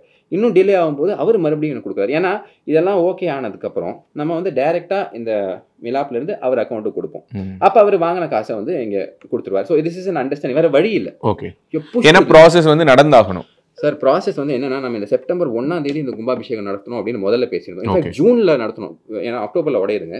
ஜூனில் நடத்தணும். நான் ஆறு மாதம் இருக்கா? அப்போ நான் வந்து நவம்பர்லேயே எல்லாரையும் போய் அப்ரோச் பண்ணி டிசம்பரில் போய் பேசும்போது அப்போ அங்கே இருக்கக்கூடிய அவங்க சொல்கிறாங்க சரி நீ இந்த அப்ரூவல் கொடு. அப்ரூவல் நான் நான் ஒரு கண்டிஷன் என்ன வச்சேன்னா சார் அப்ரூவல் கிடைச்சதுக்கு அப்புறம் நான் ஃபண்டை ட்ரான்ஸ்ஃபர் பண்றேன். ஏன்னா அப்ரூவல் கிடைக்காம ட்ரான்ஸ்ஃபர் பண்ணேன்னா அதுக்கப்புறம் எந்த அடிப்படையில் கொடுத்தீங்க அப்படின்னு இவங்க பிரச்சனை பண்றதுக்கு வாய்ப்பு இருக்குன்னு. நல்ல வேலை ஸோ முன்னாடி அது எல்லாமே உங்களுக்கு. தெரிஞ்சிருக்கு இதுல சில ஏதோ எனக்கு ஒரு ஸ்ட்ரைக் ஆச்சு சார் எனக்கு பெரிய எக்ஸ்பீரியன்ஸ் இல்லை கோயில் கட்டி எல்லாம். இது ஏன் நான் பண்ணுறேன் அப்படிங்கிறது கூட எனக்கு தெரியாது. பட் அப்படி இருக்கும்போது எனக்கு என்னமோ ஸ்ட்ரைக் ஆச்சு. எல்லாமே முறையாக பண்ணோம். இப்போ நான் இந்த ப்ரைவேட் டெம்பிளுக்கு நம்ம பண்ணும்போதே நான் ஒவ்வொன்றுத்துக்கும் எல்லாத்தையும் ரெடி பண்ணி வச்சுருக்கேன். அதே மாதிரி இதெல்லாம் பர்ஃபெக்டாக இருக்கணும். நாளைக்கு இதை நம்ம ப்ரெசென்ட் பண்ணும்போது யங்ஸ்டர்ஸோ வேறு யாரோ அதை முன்னெடுக்கும்போது இந்த மெத்தடில் பண்ண விஷயங்கள் ஈஸியாக இருக்கும். அப்படின்னு காட்டுறதுக்கு வேண்டி சம்திங் இன் மீ ஒரு இன்ட்யூஷன் சொல்லலாம். I wanted this to be like this so அப்படி இருக்கும்போது அங்கே நவம்பர் டிசம்பர்லேயே போயிடுறேன். அப்போ ஜூனில் நம்ம நாலு மாதத்தில் பண்ணிடலாம் அப்படின்னு ஐடியா இருந்தது. அதுக்கப்புறம் செப்டம்பர் அப்படின்னு மாற்றினாங்க அப்புறம் இப்போ மழை காலம் வரப்போது அந்த அது வந்து டெரக்கோட்டா ஃபிகரன்ஸில் அப்போ சம்டைம்ஸ் அதை சுடுமண்ணை வந்து சூடு பண்ணுறதுக்கு டைம் எடுக்கும் அப்படின்னு சொல்லிட்டு ஜனவரியில் பண்ணலாம் அப்படின்னு இப்போதைக்கு அவங்க மாற்றி வச்சுருக்காங்க. ஸோ அந்த ஒரு ப்ராசஸ் டிலே இருக்குது பார்த்தீங்களா அது வந்து இந்த ஹெச்ஆர்என்சி டெம்பிள் நடந்துக்கிட்டே இருக்குது ஓகே இப்போ உங்களுடைய அந்த மில்லாப் அதாவது நீங்க. கலெக்ட் பண்ண அந்த மில்லாப்புடைய அக்கௌண்ட்ல இருக்கக்கூடிய பணம். அதை வந்து இப்போ இந்த கோவிலுடைய கும்பாபிஷேகத்துக்கோ அல்லது இப்போ அந்த சிலையுடைய நிறைவு பணிகளுக்கோ பயன்படுத்துற மாதிரியான ஒரு எண்ணம் ஹெச்ஆர்என்சிக்கு இருக்கா இல்லையா? இல்லை அப்படிங்கிறது என்னோட பிரச்சனை. ஏன்னா. சி நான் ஏதாவது முறைகேடு பண்ணியிருந்தேன்னா என்ன I am saying don't put me behind the bars crucify me or hang me ஏன்னா கோயில் விஷயங்கள் யாரும் பண்ணக்கூடாது. அந்த அளவுக்கு ஐம் ஐம் சேயிங் நீ என் அந்த மாதிரி நான் ஒரு தப்பு பண்ணியிருக்கேன் நீ கார்த்திக் கோபிநாத் வந்து இதுக்காக கலெக்ட் பண்ணப்பட்ட பணத்துல ஒரு ரூபாய் முறையீடு முறைகேடு பண்ணியிருந்தாலும் ஆஃப் பனிஷ்மெண்ட் எனக்கு கொடுங்க. I am ready to give இந்த undertaking to the government. Central government judiciary யாருக்கு வேணா நான் கொடுக்கறதுக்கு ரெடியாக இருக்கேன். யாருக்கும் அந்த நிலமை வரக்கூடாது. அவ்வளோ மோசமான நிலைமை I'm telling you. I am ready to give an undertaking ஆனால் இந்த கலெக்ட் பண்ண ஃபண்ட் இருக்குல்ல அதை வந்து இந்த கோயில் சிலைகளை கட்டுறதுக்கு பயன்படுத்துறதுக்கு கொடுத்துருக்காங்க. அந்த முடிவை நம்ம எடுத்திருக்கோம். அதை சேர விடுங்க அப்படின்னு தான் நான் சொல்றேன். அதையும் கூடாது. அப்படின்னு சொல்றதுக்கு என்ன அர்த்தம் பை. ஏன் இந்த காசை நீங்க உபயோகப்படுத்த மாட்டீங்க சரி முறைகேடு பண்ணியிருந்தா நீ என்ன உள்ள போடு ம். இங்க தான் மிலாப்ல இருக்குன்னு சொல்றேன்ல ம். நீ வந்து வேற முறைகேடு பண்ணியிருக்கேன் எந்த முறைகேடு பண்ணியிருக்கேன் என்ன முறைகேடு பண்ணி இன்வெஸ்டிகேஷன் பண்ணிக்கோ. ஆனா இதை ஏன் எடுக்க மாட்டேங்கிற என்ன உனக்கு அந்த ஒரு வை யூ ஹேவ் சச் இல்லை டு த வெஸ்ட் கேஸ் சொல்கிறேன் இப்போ ஒருவேளை இப்போ ஹெச்ஆர்என்சி அதாவது இந்த வழக்கினுடைய மிக முக்கியமான ஒரு ஃபேக்டர் அவங்க சொன்னது என்னன்னா ஹெச்ஆர்என்சி கோவிலுக்கு ஒரு நிதி திரட்டுவதாக இருந்தால் முறைப்படி அனுமதி வாங்கியிருக்க வேண்டும் அப்படிங்கிற ஒரு கிளாஸை தான் அவங்க உங்களுக்கு எதிராக இல்ல. கிளாஸ் தப்பு. ஆனால் அதுதான் அவங்க உங்க முன்னாடி வச்சாங்க. நான் என்ன கேட்குறேன். ஹெச்ஆர்என்சி கோவிலுக்கு வசூலிப்பது தவறு. அல்லது ஹெச்ஆர்என்சி கோவிலுக்கு ஒரு முறையான அனுமதி பெறாமல் வசூலிப்பது தவறு தான் அப்படிங்கிறது அவங்களோட எண்ணமா இருந்தா. ரெண்டாயிரத்தி நூற்றி முப்பது donors almost two thousand two hundred donors இரண்டாயிரத்தி இரநூறு டோனர்ஸ் கிட்டேயும் ஓகே இப்படி ஒரு லா இருந்தது. இது இந்த லாவை நாங்கள் நோட் பண்ணல. We collected for a noble reason இந்த இரண்டாயிரத்தி இரநூறு பேருக்கும் இந்த பணத்தை நம்ம திரும்ப கொடுத்துட்டா ஹெச்ஆர்என்சி அதனால சந்தோஷப்பட்டுருவாங்களா? இல்ல நான் கேட்குறேன் இல்ல டு த வர்ஸ்ட் கேஸ் நான் கேட்குறேன் ஏன்னா அப்படி கொடுத்துட்டா இப்போ கோவிலுக்கு அந்த பணத்தையும் நீங்க எடுத்துக்க மாட்டேங்கிறீங்க. இப்போ ஒரு கோவில்ல கொண்டு போய் உண்டியல்ல போடுறோம். உண்டியல்ல போடுற பணம் சாமிக்கு போய் சேருதா இல்லையாங்கிறது தெரியல. கண்டிப்பா யாரும் சாமிக்கு போய் சேருதுன்னு நம்பி எல்லாம் போடுறது இல்ல நம்ம வேண்டுதல் நம்ம வேண்டிக்கிட்டோம். நமக்கு பிரச்சனை வரக்கூடாது. அப்படின்னு ஒரு லஞ்சம் தான் அந்த உண்டியில. போடுற ஏதோ ஒரு இடத்துல போய் போடுறோம். அது ஏதோ ஒரு சிஸ்டம்க்கு சில நேரங்கள்ல அன்னதானத்துக்கு போகுதுன்னு நம்பிக்கிறோம். சில நேரங்களில் இதை வச்சு தான் கோவிலை காப்பாத்துறாங்கன்னு புரிஞ்சுக்கிறோம். இது எல்லாமே நம்மளுடைய நம்பிக்கை தான். மனப்பிராந்தி தான். ஆமா. அது எங்க போகுதுங்கிறது கடவுளுக்கு தான் வெளிச்சம். ஸோ அப்படி இருக்கும்போது ரெண்டாயிரத்தி நூத்தி சொச்சம் பேர் ஒரு இறை உணர்வோடு ஒரு தேசிய சிந்தனையோடு ஒரு தெய்வீக உணர்வோடு ஒருத்தரை நம்பி கொடுத்த பணத்தை தொட மாட்டேன் நான் அதை எடுக்க மாட்டேன் அப்படின்னு சொல்லி ஹெச்ஆர்என்சி அடம் பிடிக்கிறது எப்படி புரிஞ்சுக்கிறதுன்னு கேட்குறேன் இப்போ நீங்க சொல்றதுல ரெண்டு விஷயம் இருக்குங்க. ஒண்ணு என்னன்னா இப்போ நிறைய பேர்லாம் பாத்தீங்கன்னா டோனர் கான்ட்ரிபியூஷன்ல கோடிக்கணக்கில் ஒர்க் பண்றாங்க. நாட அந்த திருவல்லரை கோவில் ஆமா பத்தி. அதெல்லாம் நீங்க கேள்விப்பட்டிருப்பீங்க. கோடிக்கணக்கில் வாங்கியிருக்காங்க. அவங்களுக்கு டோனார் கொடுக்குறாங்க. நான் என்ன சொல்றேன்? எனக்கு டோனார் கான்ட்ரிபியூஷன்லாம் ஒன்றும் தேவையில்லை. இங்க பார் இந்த கோயிலை கட்டி ஆகணும் இந்த கோயில் உடைச்சு கிட்டத்தட்ட ஒரு வருஷம் கழிச்சு நான் அரெஸ்ட் ஆகிறதுக்கு கொஞ்ச நாள் முன்னாடி அறநிலையத்துறை அமைச்சர் போய் பார்க்குறாரு. இந்த கோயிலில் தேவையான விஷயங்கள் எல்லாம் பண்ணப்படும் அது அரசாங்கமே எடுத்து பண்ணலாம் அப்படின்னு நாங்கள் பரிசீலனை பண்ணுறோம் அப்படின்னு சொல்றாங்க. நான் என்ன சொல்றேன்? ஃபினான்ஸ் மினிஸ்டர் என்ன சொல்றாரு? நிதி கோவில் மூலமா வருமானமே இல்லைன்னு சொல்றாங்க நிதி பற்றாக்குறை இருக்குன்னு நாங்க. நூறு கோடி ரூபாய் கோயிலுக்கு ஸ்பெண்ட் பண்றோம் இல்ல அது இல்ல. நிதி பற்றாக்குறை இருக்குன்னு சொல்றாருல இங்க வந்து மக்கள் கொடுக்குறாங்கல்ல. மக்கள் விரும்பி கொடுக்குறாங்க. இப்ப ஐயப்பன் கோயிலுக்கு போறோம். அப்போ ஐயப்பன் கோயில் வந்து அங்கே அந்த இதில் ஹெச்ஆர்என்சி ஆக்ட் கீழே வரக்கூடிய கோயில் தான். போகும்போது எல்லாரும் உங்களுக்கு நூறுரூவா நூறுரூவா நூறுரூவா கொடுக்குறாங்க. ஏன்னா எங்கள் நம்பிக்கை என்ன நீங்கள் அங்கே கொண்டு போய் போடுவீங்க அப்படின்னு சொல்லிட்டு. அந்த மாதிரி தான் இந்த விஷயம். ஸோ இவங்க கொடுத்துருக்காங்க. ஹெச்ஆர்என்சிகிட்ட போய் கேட்குறேன். நான் ஏதோ தெரியாமல் இதை ஒரு அங்கே சில பண்ணி அங்கே கொண்டு போய் வைக்கணும்னா ஓகே உன்கிட்ட போய் நான் கேட்குறேன். ஐ ஃபர்ஸ்ட் ஆஃப் ஆல் நம்ம ஒரு இன்ஸ்டிடியூஷனை ட்ரஸ்ட் பண்ணணும். அதுக்கப்புறம் அவங்க நம்மளை பின்னாடி குத்துனது அது வேறு விஷயம். ட்ரஸ்ட் பண்ணி நான் உன்கிட்ட கேட்குறேன். Yes a young man I come to you to a government institution இந்த மாதிரி இருக்குது சார் நான் கலெக்ட் பண்ணியிருக்கேன். என்ன பண்ணலாம்? இதை நீங்கள் வந்து எப்படி கொண்டு போய் கொடுக்கலான்னு கேட்கும்போது நீ கட்டக்கூடாது. நீ கலெக்ட் பண்ண ஃபண்டு இங்கே யூஸ் பண்ணக்கூடாது ஏன் அது? ஏன் அந்த ஈகோ உனக்கு? ஏன் அந்த இன்ஸ்டிடியூஷனல் ஈகோ.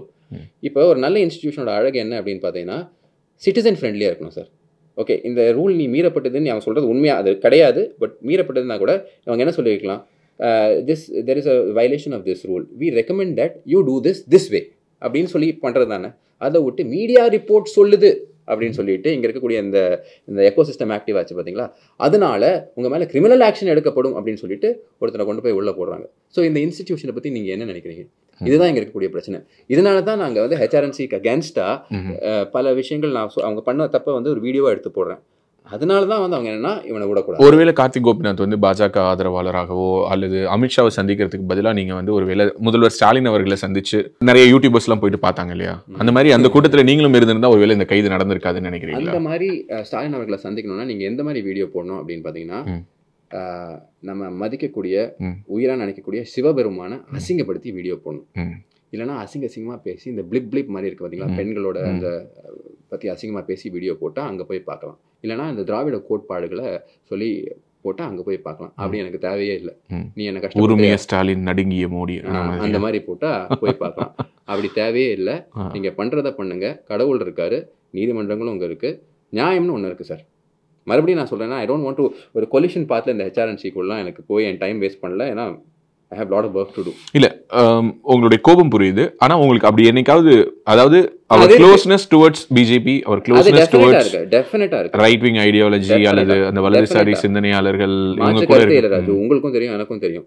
நான் இது நான் இப்படி எனக்கு நான் இல்ல பண்ண அப்போ இல்ல ஏன் இந்த கேள்வி நான் முக்கியமான ஒரு கேள்வி வைக்கிறேன்னா அப்போ ஒரு கேள்வி இங்க வருது என்னன்னா இங்க பாஜக ஆதரிச்சு அல்லது ஒரு ஹிந்துத்துவத்தை ஆதரிச்சு அல்லது ஹிந்து மதத்தை ஆதரிச்சு அந்த மதத்துல நடக்கக்கூடிய அல்லது அந்த மதத்தின் மேல் நிகழ்த்தப்படக்கூடிய அடக்குமுறைகளை பற்றி ஒருவன் பேசும் பொழுது அவன் நல்லதே செஞ்சாலும் அவனை பத்து நாளாவது ஜெயிலுக்குள்ளார போட்டு தான் வெளியில எடுக்க முடியும்னு இந்த சிஸ்டம் சொல்லுது அப்படின்னா இந்த மாதிரி விஷயங்களை யார் பேச வருவா? பிகாஸ் யூ டோல்ட் நான் இதை செய்யும் பொழுது இதை நாளை ஒரு இளைஞன் வந்து இதே விஷயத்தை செய்யணும்னா அவனுக்கு இது ஒரு. ஒரு ப்ளூ பிரிண்டா இதை நான் போட்டு வைக்கணும்னு நினைச்சேன்னு. ட்ரஸ்ட் மீ இனிமே கோவிலுக்கு அப்படின்னு சொல்லி ஃபண்ட் கலெக்ட் பண்றதுக்கு ஒருத்தன் இறங்க மாட்டான். அப்படிங்கிற நம்பிக்கையில தான் இவங்க பண்ணியிருக்காங்க சார் அதுவும் குறிப்பா ஒரு பாஜக ஆதரவாளரோ அல்லது ஒரு ஒரு ஹிந்து மதத்தை ரொம்ப ஒரு போற்றக்கூடியவங்களோ இதை வாழ்வியல் நெறியாக ஏற்றவர்களோ செய்யவே மாட்டாங்க. பிகாஸ் இன்றைக்கி இருக்கக்கூடிய க்ரௌட் க்ரௌட் ஃபண்டிங் பிளாட்ஃபார்ம்ஸ் வந்து எல்லாத்துக்குமே க்ரௌட் ஃபண்டிங் பண்ணுறதுக்கு அனுமதி கொடுக்குறாங்க. நான் ஒரு சில க்ரௌட் ஃபண்டிங்லாம் பார்க்குறேன். மெடிக்கல் ஹெல்ப்பில் தொடங்கி நான் வேர்ல்ட் ட்ரிப் போகணும் ஃபண்ட் கொடுங்கன்னு கேட்குறாங்க அது கூட ஃபண்ட் கலெக்ட் ஆகக்கூடிய சில வித்தியாசமான நிகழ்வுகள்லாம் இருக்குது ஸோ இந்த க்ரௌட் ஃபண்டிங் அப்படிங்கிறத ஒரு ஒரு கேமாக வச்சு மக்களிடம் பணம் பெற்று அது திருப்பணி செய்வது தான் திருப்பணிங்கிறது. எப்போதுமே ஒரு கோவில் கட்டும் பொழுது. ஊர் முழுக்க போயிட்டு ஒரு நோட் எடுத்துட்டு போயிட்டு ஒவ்வொரு முறை அந்த கோவிலுக்கு ஒரு திருப்பணி நடக்கும் பொழுதும் கும்பாபிஷேகம் நடக்குது அப்படின்னா எழுதுவாங்க. ஊர் முழுக்க இருக்கக்கூடிய ஒரு கூடி ஒரு ஒரு முடிவெடுப்பாங்க. ஏன்னா இந்த வீட்டில் ஊர்ல இருக்க எல்லா குடும்பங்களும் குறைந்தபட்ச வரி இவ்வளவு கொடுக்கணும். அதற்கு மேல் கொடுப்பது அவர்களுடைய சக்திக்கு பொறுத்து அப்படின்னு. அப்படித்தான் இது நடந்திருக்கு. ஒரு ஒரு பெரிய மனுஷன் இருக்கான் அவன்கிட்ட பத்து கோடி இருக்குன்னா அவன் நினைச்சா அந்த கோவிலை போய் திருப்பணி செய்த திருப்பணி கிடையாது. திருப்பணியும் கிடையாது. எல்லோரும் சேர்ந்து அவங்களால முடிஞ்சதை அதில் கொடுக்கறது தான் அப்படி இருக்கும் பொழுது அதுதான் நீங்கள் செய்திருக்கீங்க இல்லையா? இன்னைக்கு வந்து ஆம், நீங்க சொல்லக்கூடிய அந்த சின்ன இன்னொரு கோவில் அந்த கீழே இருக்கக்கூடிய ஒரு பிரைவேட் டெம்பிள்ல நடந்திருக்கக்கூடிய கும்பாபிஷேகத்துல கூட கார்த்திக் கோபிநாத்தே எல்லா செலவுகளையும் பாத்துக்கிறேன்னு சொல்லியிருந்தா அங்க இருக்கக்கூடிய மக்களுக்கு அவ்வளவு சந்தோஷம் இருக்கு எனக்குமே சந்தோஷமா இருக்காது. யாருக்குமே சந்தோஷமா இருக்காது. ஆமா. சரி ஒரு கலெக்டிவ் எஃபர்ட் அந்த கலெக்டிவ் எஃபர்ட்ல இருக்கக்கூடிய அழகு அன்னைக்கு ஆக்சுவலி பார்க்கணும் வயசானவங்க எல்லாம் வராங்க. நைட்டு ஃபுல்லா தூங்காம இருக்காங்க. இந்த கடா வெட்டுறாங்க. கடா வெட்டுறதுக்கு முன்னாடி சில ஆட்கள்லாம் கொஞ்சம் மலை ஏறுறாங்க. சில ஆட்கள் ஜாலியா இருக்காங்க. சில இளவட்ட பசங்க வராங்க. எல்லாமே பாத்தீங்க அப்படின்னா அதுதான் அந்த community bonding okay community community பாண்டிங்க்கு வேண்டி தான் இதை நம்ம பண்ணுறது நீங்கள் சொல்கிறது ஒரு நியாயமான விஷயம் தான் என்னென்னா இந்த நான் ஒரு தேசியவாதியோ ஒரு பாஜக ஆதரவாளர்களோ ஒரு ஹிந்துத்வா சப்போர்ட் பண்ணக்கூடிய ஆளாக இல்லைன்னா விஷயங்கள் கொஞ்சம் ஈஸியாக இருந்திருக்கலாம். கொஞ்சம் காசு கொடுத்தாவது விஷயங்களை நம்ம நடத்தியிருக்கலாம். ஆனால் நாளைக்கும் பின்னும் யாரும் வரமாட்டாங்கன்னு நீங்கள் சொல்கிறீங்க பார்த்தீங்களா அதுதான் அவங்களோட இன்டென்ஷன் ஓகே இல்ல வரமாட்டாங்கங்கிற மாதிரியான ஒரு இம்ப்ரெஷன் பலருக்கும் வந்துருச்சு. ஒரு பய உணர்வு வருது. டு பி ஃப்ரேங்க் ஒரு நல்ல விஷயத்துக்காக கூட க்ரௌட் ஃபண்டிங் பண்ணா இவங்க நம்மள வேண்டாம் வேண்டா விருப்போடு அல்லது நம்மள வந்து காலி பண்ணணும்னு முடிவு பண்ணிட்டாங்கன்னா நம்மள ஒரு கட்டம் கட்டிட்டாங்கன்னா இவங்களால என்ன வேணாலும் செய்ய முடியுங்கிறதுக்கு கார்த்திக் கோபிநாத்தே ஒரு உதாரணம் அப்படிங்கிற ஒரு இம்ப்ரெஷனை அவங்க ஏற்படுத்துறாங்க. கார்த்திக் கோபினர் கதை முடியலல்ல? ம். அபி பிக்சர் பாக்கி ஓகே ஸோ அதனால let's not write it off okay இதை தாண்டி இதை பார்த்து எல்லாம் வருவாங்க. சிறப்பு. வெயிட் பண்ணுங்க. சிறப்பு. இப்போ பேக் எகெயின் இந்த கும்பாபிஷேகம். கும்பாபிஷேகத்துக்கு போறீங்க. ஓகே எகெயின் இது எல்லாமே மைண்ட்ல ஓடிட்டு இருக்கோம்ல இங்க இருந்து போகும்பொழுதெல்லாம் இது எப்படி தொடங்கணும்? இது என்ன ஆரம்பிச்சோம்? இந்த ஊருக்கு ஏன்டா ஒண்ணு வந்தோம்? இது என்ன கனெக்ட் சம்திங் மைண்ட்ல ஓடி இருக்கும்ல நீங்கள் நம்ப மாட்டீங்க. ஆக்சுவலி அங்கே போ போகும்போது பசங்கள்லாம் இருந்தாங்க. ஸோ எல்லாம் வந்து பாட்டு கேட்டு அப்படியே ஜாலியாக வந்துட்டு வேறு எதுவுமே யோசிக்க வேண்டாம் ஏன்னா டெய்லி நம்மளோட ஷெடியூல் உங்களுக்கு தெரியும். படிக்கணும் கரண்ட் அஃபேர்ஸ் அப்டேட் பண்ணணும். வீடியோஸ் பண்ணணும் அப்புறம் டெய்லி மூணு வீடியோஸ் ஸோ அது நீங்களும் கேட்டிருப்பீங்க. ஏன் அவனுக்கு அந்த வேலை? நான் ஆச்சரியமாவே சொல்லியிருக்கேன். ஒரு நாளைக்கு மூணு video thank you for that so அந்த மாதிரி இருக்கும்போது ஒரு பிரேக் மாதிரி இருந்துச்சு. அண்ட் ஃபேமிலியிலேருந்தும் கொஞ்சம் அப்படியே மூவ் பண்ணி ப்ராப்பராக ஒரு பழைய பேச்சுலர் லைஃப் மாதிரி கொஞ்சம் ஜாலியாக அப்படியே போகிறோம் அன்றைக்கி எல்லாம் பாட்டு கேட்டு கேட்டுட்டு பல விஷயங்கள் பேசிட்டு பல சேனல்ஸ் பற்றி டிஸ்கஸ் பண்ணி உங்கள் சேனலை பற்றி எல்லாம் டிஸ்கஸ் பண்ணிக்கிட்டு அப்படி ஃப்ரெண்ட்ஸ் எல்லாம் போய்கிட்டு இருக்கோம். போகும்போது அந்த ஃபஸ்ட் டைம் அங்கே சிறுவாச்சூர் போகும்போது ஒவ்வொரு இடத்துல நின்றுருப்போம்ல. அந்த இடம்லாம் பார்க்கும்போது தோணுச்சு. அன்னைக்கெல்லாம் தோணவே இல்லையே. அதான் ஒரு படத்தில் இந்த சொல்லுவாங்க ஊர் தான் நம்மளோட ஒட்டுமொத்த இதையே மாத்த போகுது அப்படிங்கிற மாதிரி? தட் இஸ் வை என்ன இதெல்லாம் நமக்கு ஒன்றுமே புரியாதுங்க. கனெக்ஷனே கிடையாதுங்க. நான் அது ஃபோர் தேர்ட் ஃபோர் ஹவர்ஸ் ஆகுங்க அங்கே போகிறதுக்கு ஸோ அந்த ஒரு படத்தை சொல்லுவாங்களே இருக்கிற இடம் தெரியாமல் இருந்திருக்கலாம்டா அப்படின்னு. பட் அதெல்லாம் தாண்டி உங்க நீங்கள் தள்ளப்படுவீங்க sir if this is destine to happen கடவுள் இருக்காங்குமாருங்கிற மாதிரி இட் வில் புஷ் யூ நம்ம அதெல்லாம் ஒன்றும் சொல்ல முடியாது. ஸோ அங்க போற வரைக்கும் வேற மாதிரி இருந்திருக்கும் பட் அங்க போய் இறங்கி அந்த கோவில்ல அந்த சிலையெல்லாம் வந்து அந்த பிரதிஷ்டையெல்லாம் பண்ணும்போது ஹெல் ஆஃப் திங்க உண்மையிலே அதை நீங்கள் பார்க்கணும். அதுவும் பெரியாண்டவர் அந்த குதிரையில மேலே உட்காந்துருக்கும் போது நீங்கள் பார்த்தீங்கன்னா ஃபர்ஸ்ட் டைம் இவங்க ஏன்னா அதை ஒரு க்ரெயினை வச்சு தூக்கி கீழே அந்த எல்லாத்தையும் போடுவாங்க. அதை போட்டு அதுக்கப்புறம் தான் அதை வைப்பாங்க. அப்போ ப- அது கூஸ் பம்ப்ஸ்னு சொல்லுவாங்க பார்த்தீங்களா? மெய்ஸ் இருக்கும் அப்படிங்க ஜென்ரலாக எனக்கு நேஷனல் ஃப்ளாக் பார்த்தா அந்த ஒரு ஃபீலிங் இருக்கும். அப்புறம் இந்த ஃப்ரீடம் ஃபைட்டர்ஸ் அவங்கள பற்றி அவங்க ஸ்பீச் அவங்க விஷயங்கள்லாம் படுக்கும்போது அந்த இது இருக்கும். பட் அதுக்கப்புறம் அவர் அங்கே உட்காந்துருக்கும்போது அதுவும் அது எண்ணெய் தடுவாங்க அதெல்லாம் பார்த்தீங்கன்னா ரியலி கூஸ் பம்ப்ஸ் மூமெண்ட்டுங்க அப்போ வந்து சைலண்டாக இருந்தேன் நான். எனக்கு வந்து அதை என்ன சொல்கிறதுனே தெரியல. அந்த மாதிரி ஒரு ஃபீலிங் ஸோ. ட்ரிமெண்டஸ்ங்க. ஸோ எப்படி போச்சு ஃபங்க்ஷன் கிரேட் கிரேட். கிரேட் நான் வந்து நான் எதுவும் எதிர்பார்த்து போகல. ஏன்னா நீங்கள் சொன்ன மாதிரி மற்ற நாள்லாம் இருக்கும். அதுக்கு முந்தின நாள் நைட்டெல்லாம் நான் உட்காந்து பார்த்துருந்தேன். அந்த வீடியோலாம் ஒவ்வொருத்தன் என்னெல்லாம் பேசியிருக்கான் அப்படின்னு சொல்லிட்டு உட்காந்து நான் பார்த்துட்டு இருந்தேன். ஏன்டா நமக்கே தெரியாததெல்லாம் சொல்லியிருக்காரு. என்னமோ புதுசு புதுசாக சொல்லியிருக்கீங்களே அப்படின்னு சொல்லிட்டு அதுவும் நம்ம ஆதரவாளர்கள் அப்படின்னு சொல்லிட்டு சில ஆட்கள் அது எல்லா சைடும் இருக்கும். நான் குத்தம் சொல்லல. அங்கே அவங்கெல்லாம் பேசியிருக்காங்க. நான் சொன்னேன்ல அவன் ஆள் சரியில்லடா. அவன் பார்க்கும்போது முடி பெருசாக விட்டுக்கிறான்டா அப்பவே நான் டவுட் ஆனேன் அப்படின்னு. அவன் கண்ணு சரியில்லை. அவன் என்னென்னமோ பேசியிருந்தாங்க. ஸோ அப்போ நான் இதை இதெல்லாம் பார்த்துக்கிட்டு இருந்தேன். பார்க்கும்போது கடவுளுக்கு நன்றி சொன்னேன். ஏன்னா இப்போலாம் சாமியை கும்பிடும்போது ஒரே ஒரு ப்ரேயர் தான். வேறு எந்த ப்ரேயரும் இல்லை. இது நான் வேணும் அது வேணும்லாம் முதல்ல படிச்சிருந்தேன் முதல்ல யூபிஎஸ்சி பாஸ் ஆகணும் ஃபஸ்ட் ரேங்க் எடுக்கணும் அது. உனக்கு தெரியாதது இல்லை. உடம்பையும் மனசையும் பார்த்துக்க தாங்குற மாதிரி சக்தி கொடு.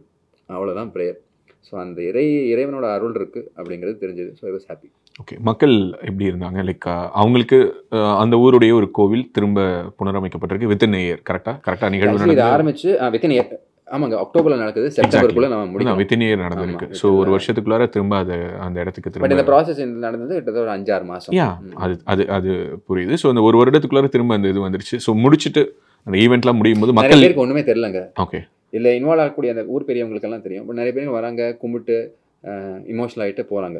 அவங்களுக்கு எதுவுமே இதை பத்தி எதுவும் தெரியாது. ஏன்னா மெயின் ஸ்ட்ரீம் மீடியா அரெஸ்ட் அது இதெல்லாம் பேசுது. என்ன நடக்குதுன்னு பேச மாட்டேங்குதுல்ல? ஏதோ எமோஷனலான விஷயம் இருந்தது. அங்க எல்லோ யாராவது ஒருத்தர் உங்ககிட்ட வந்து பேசினாங்களா.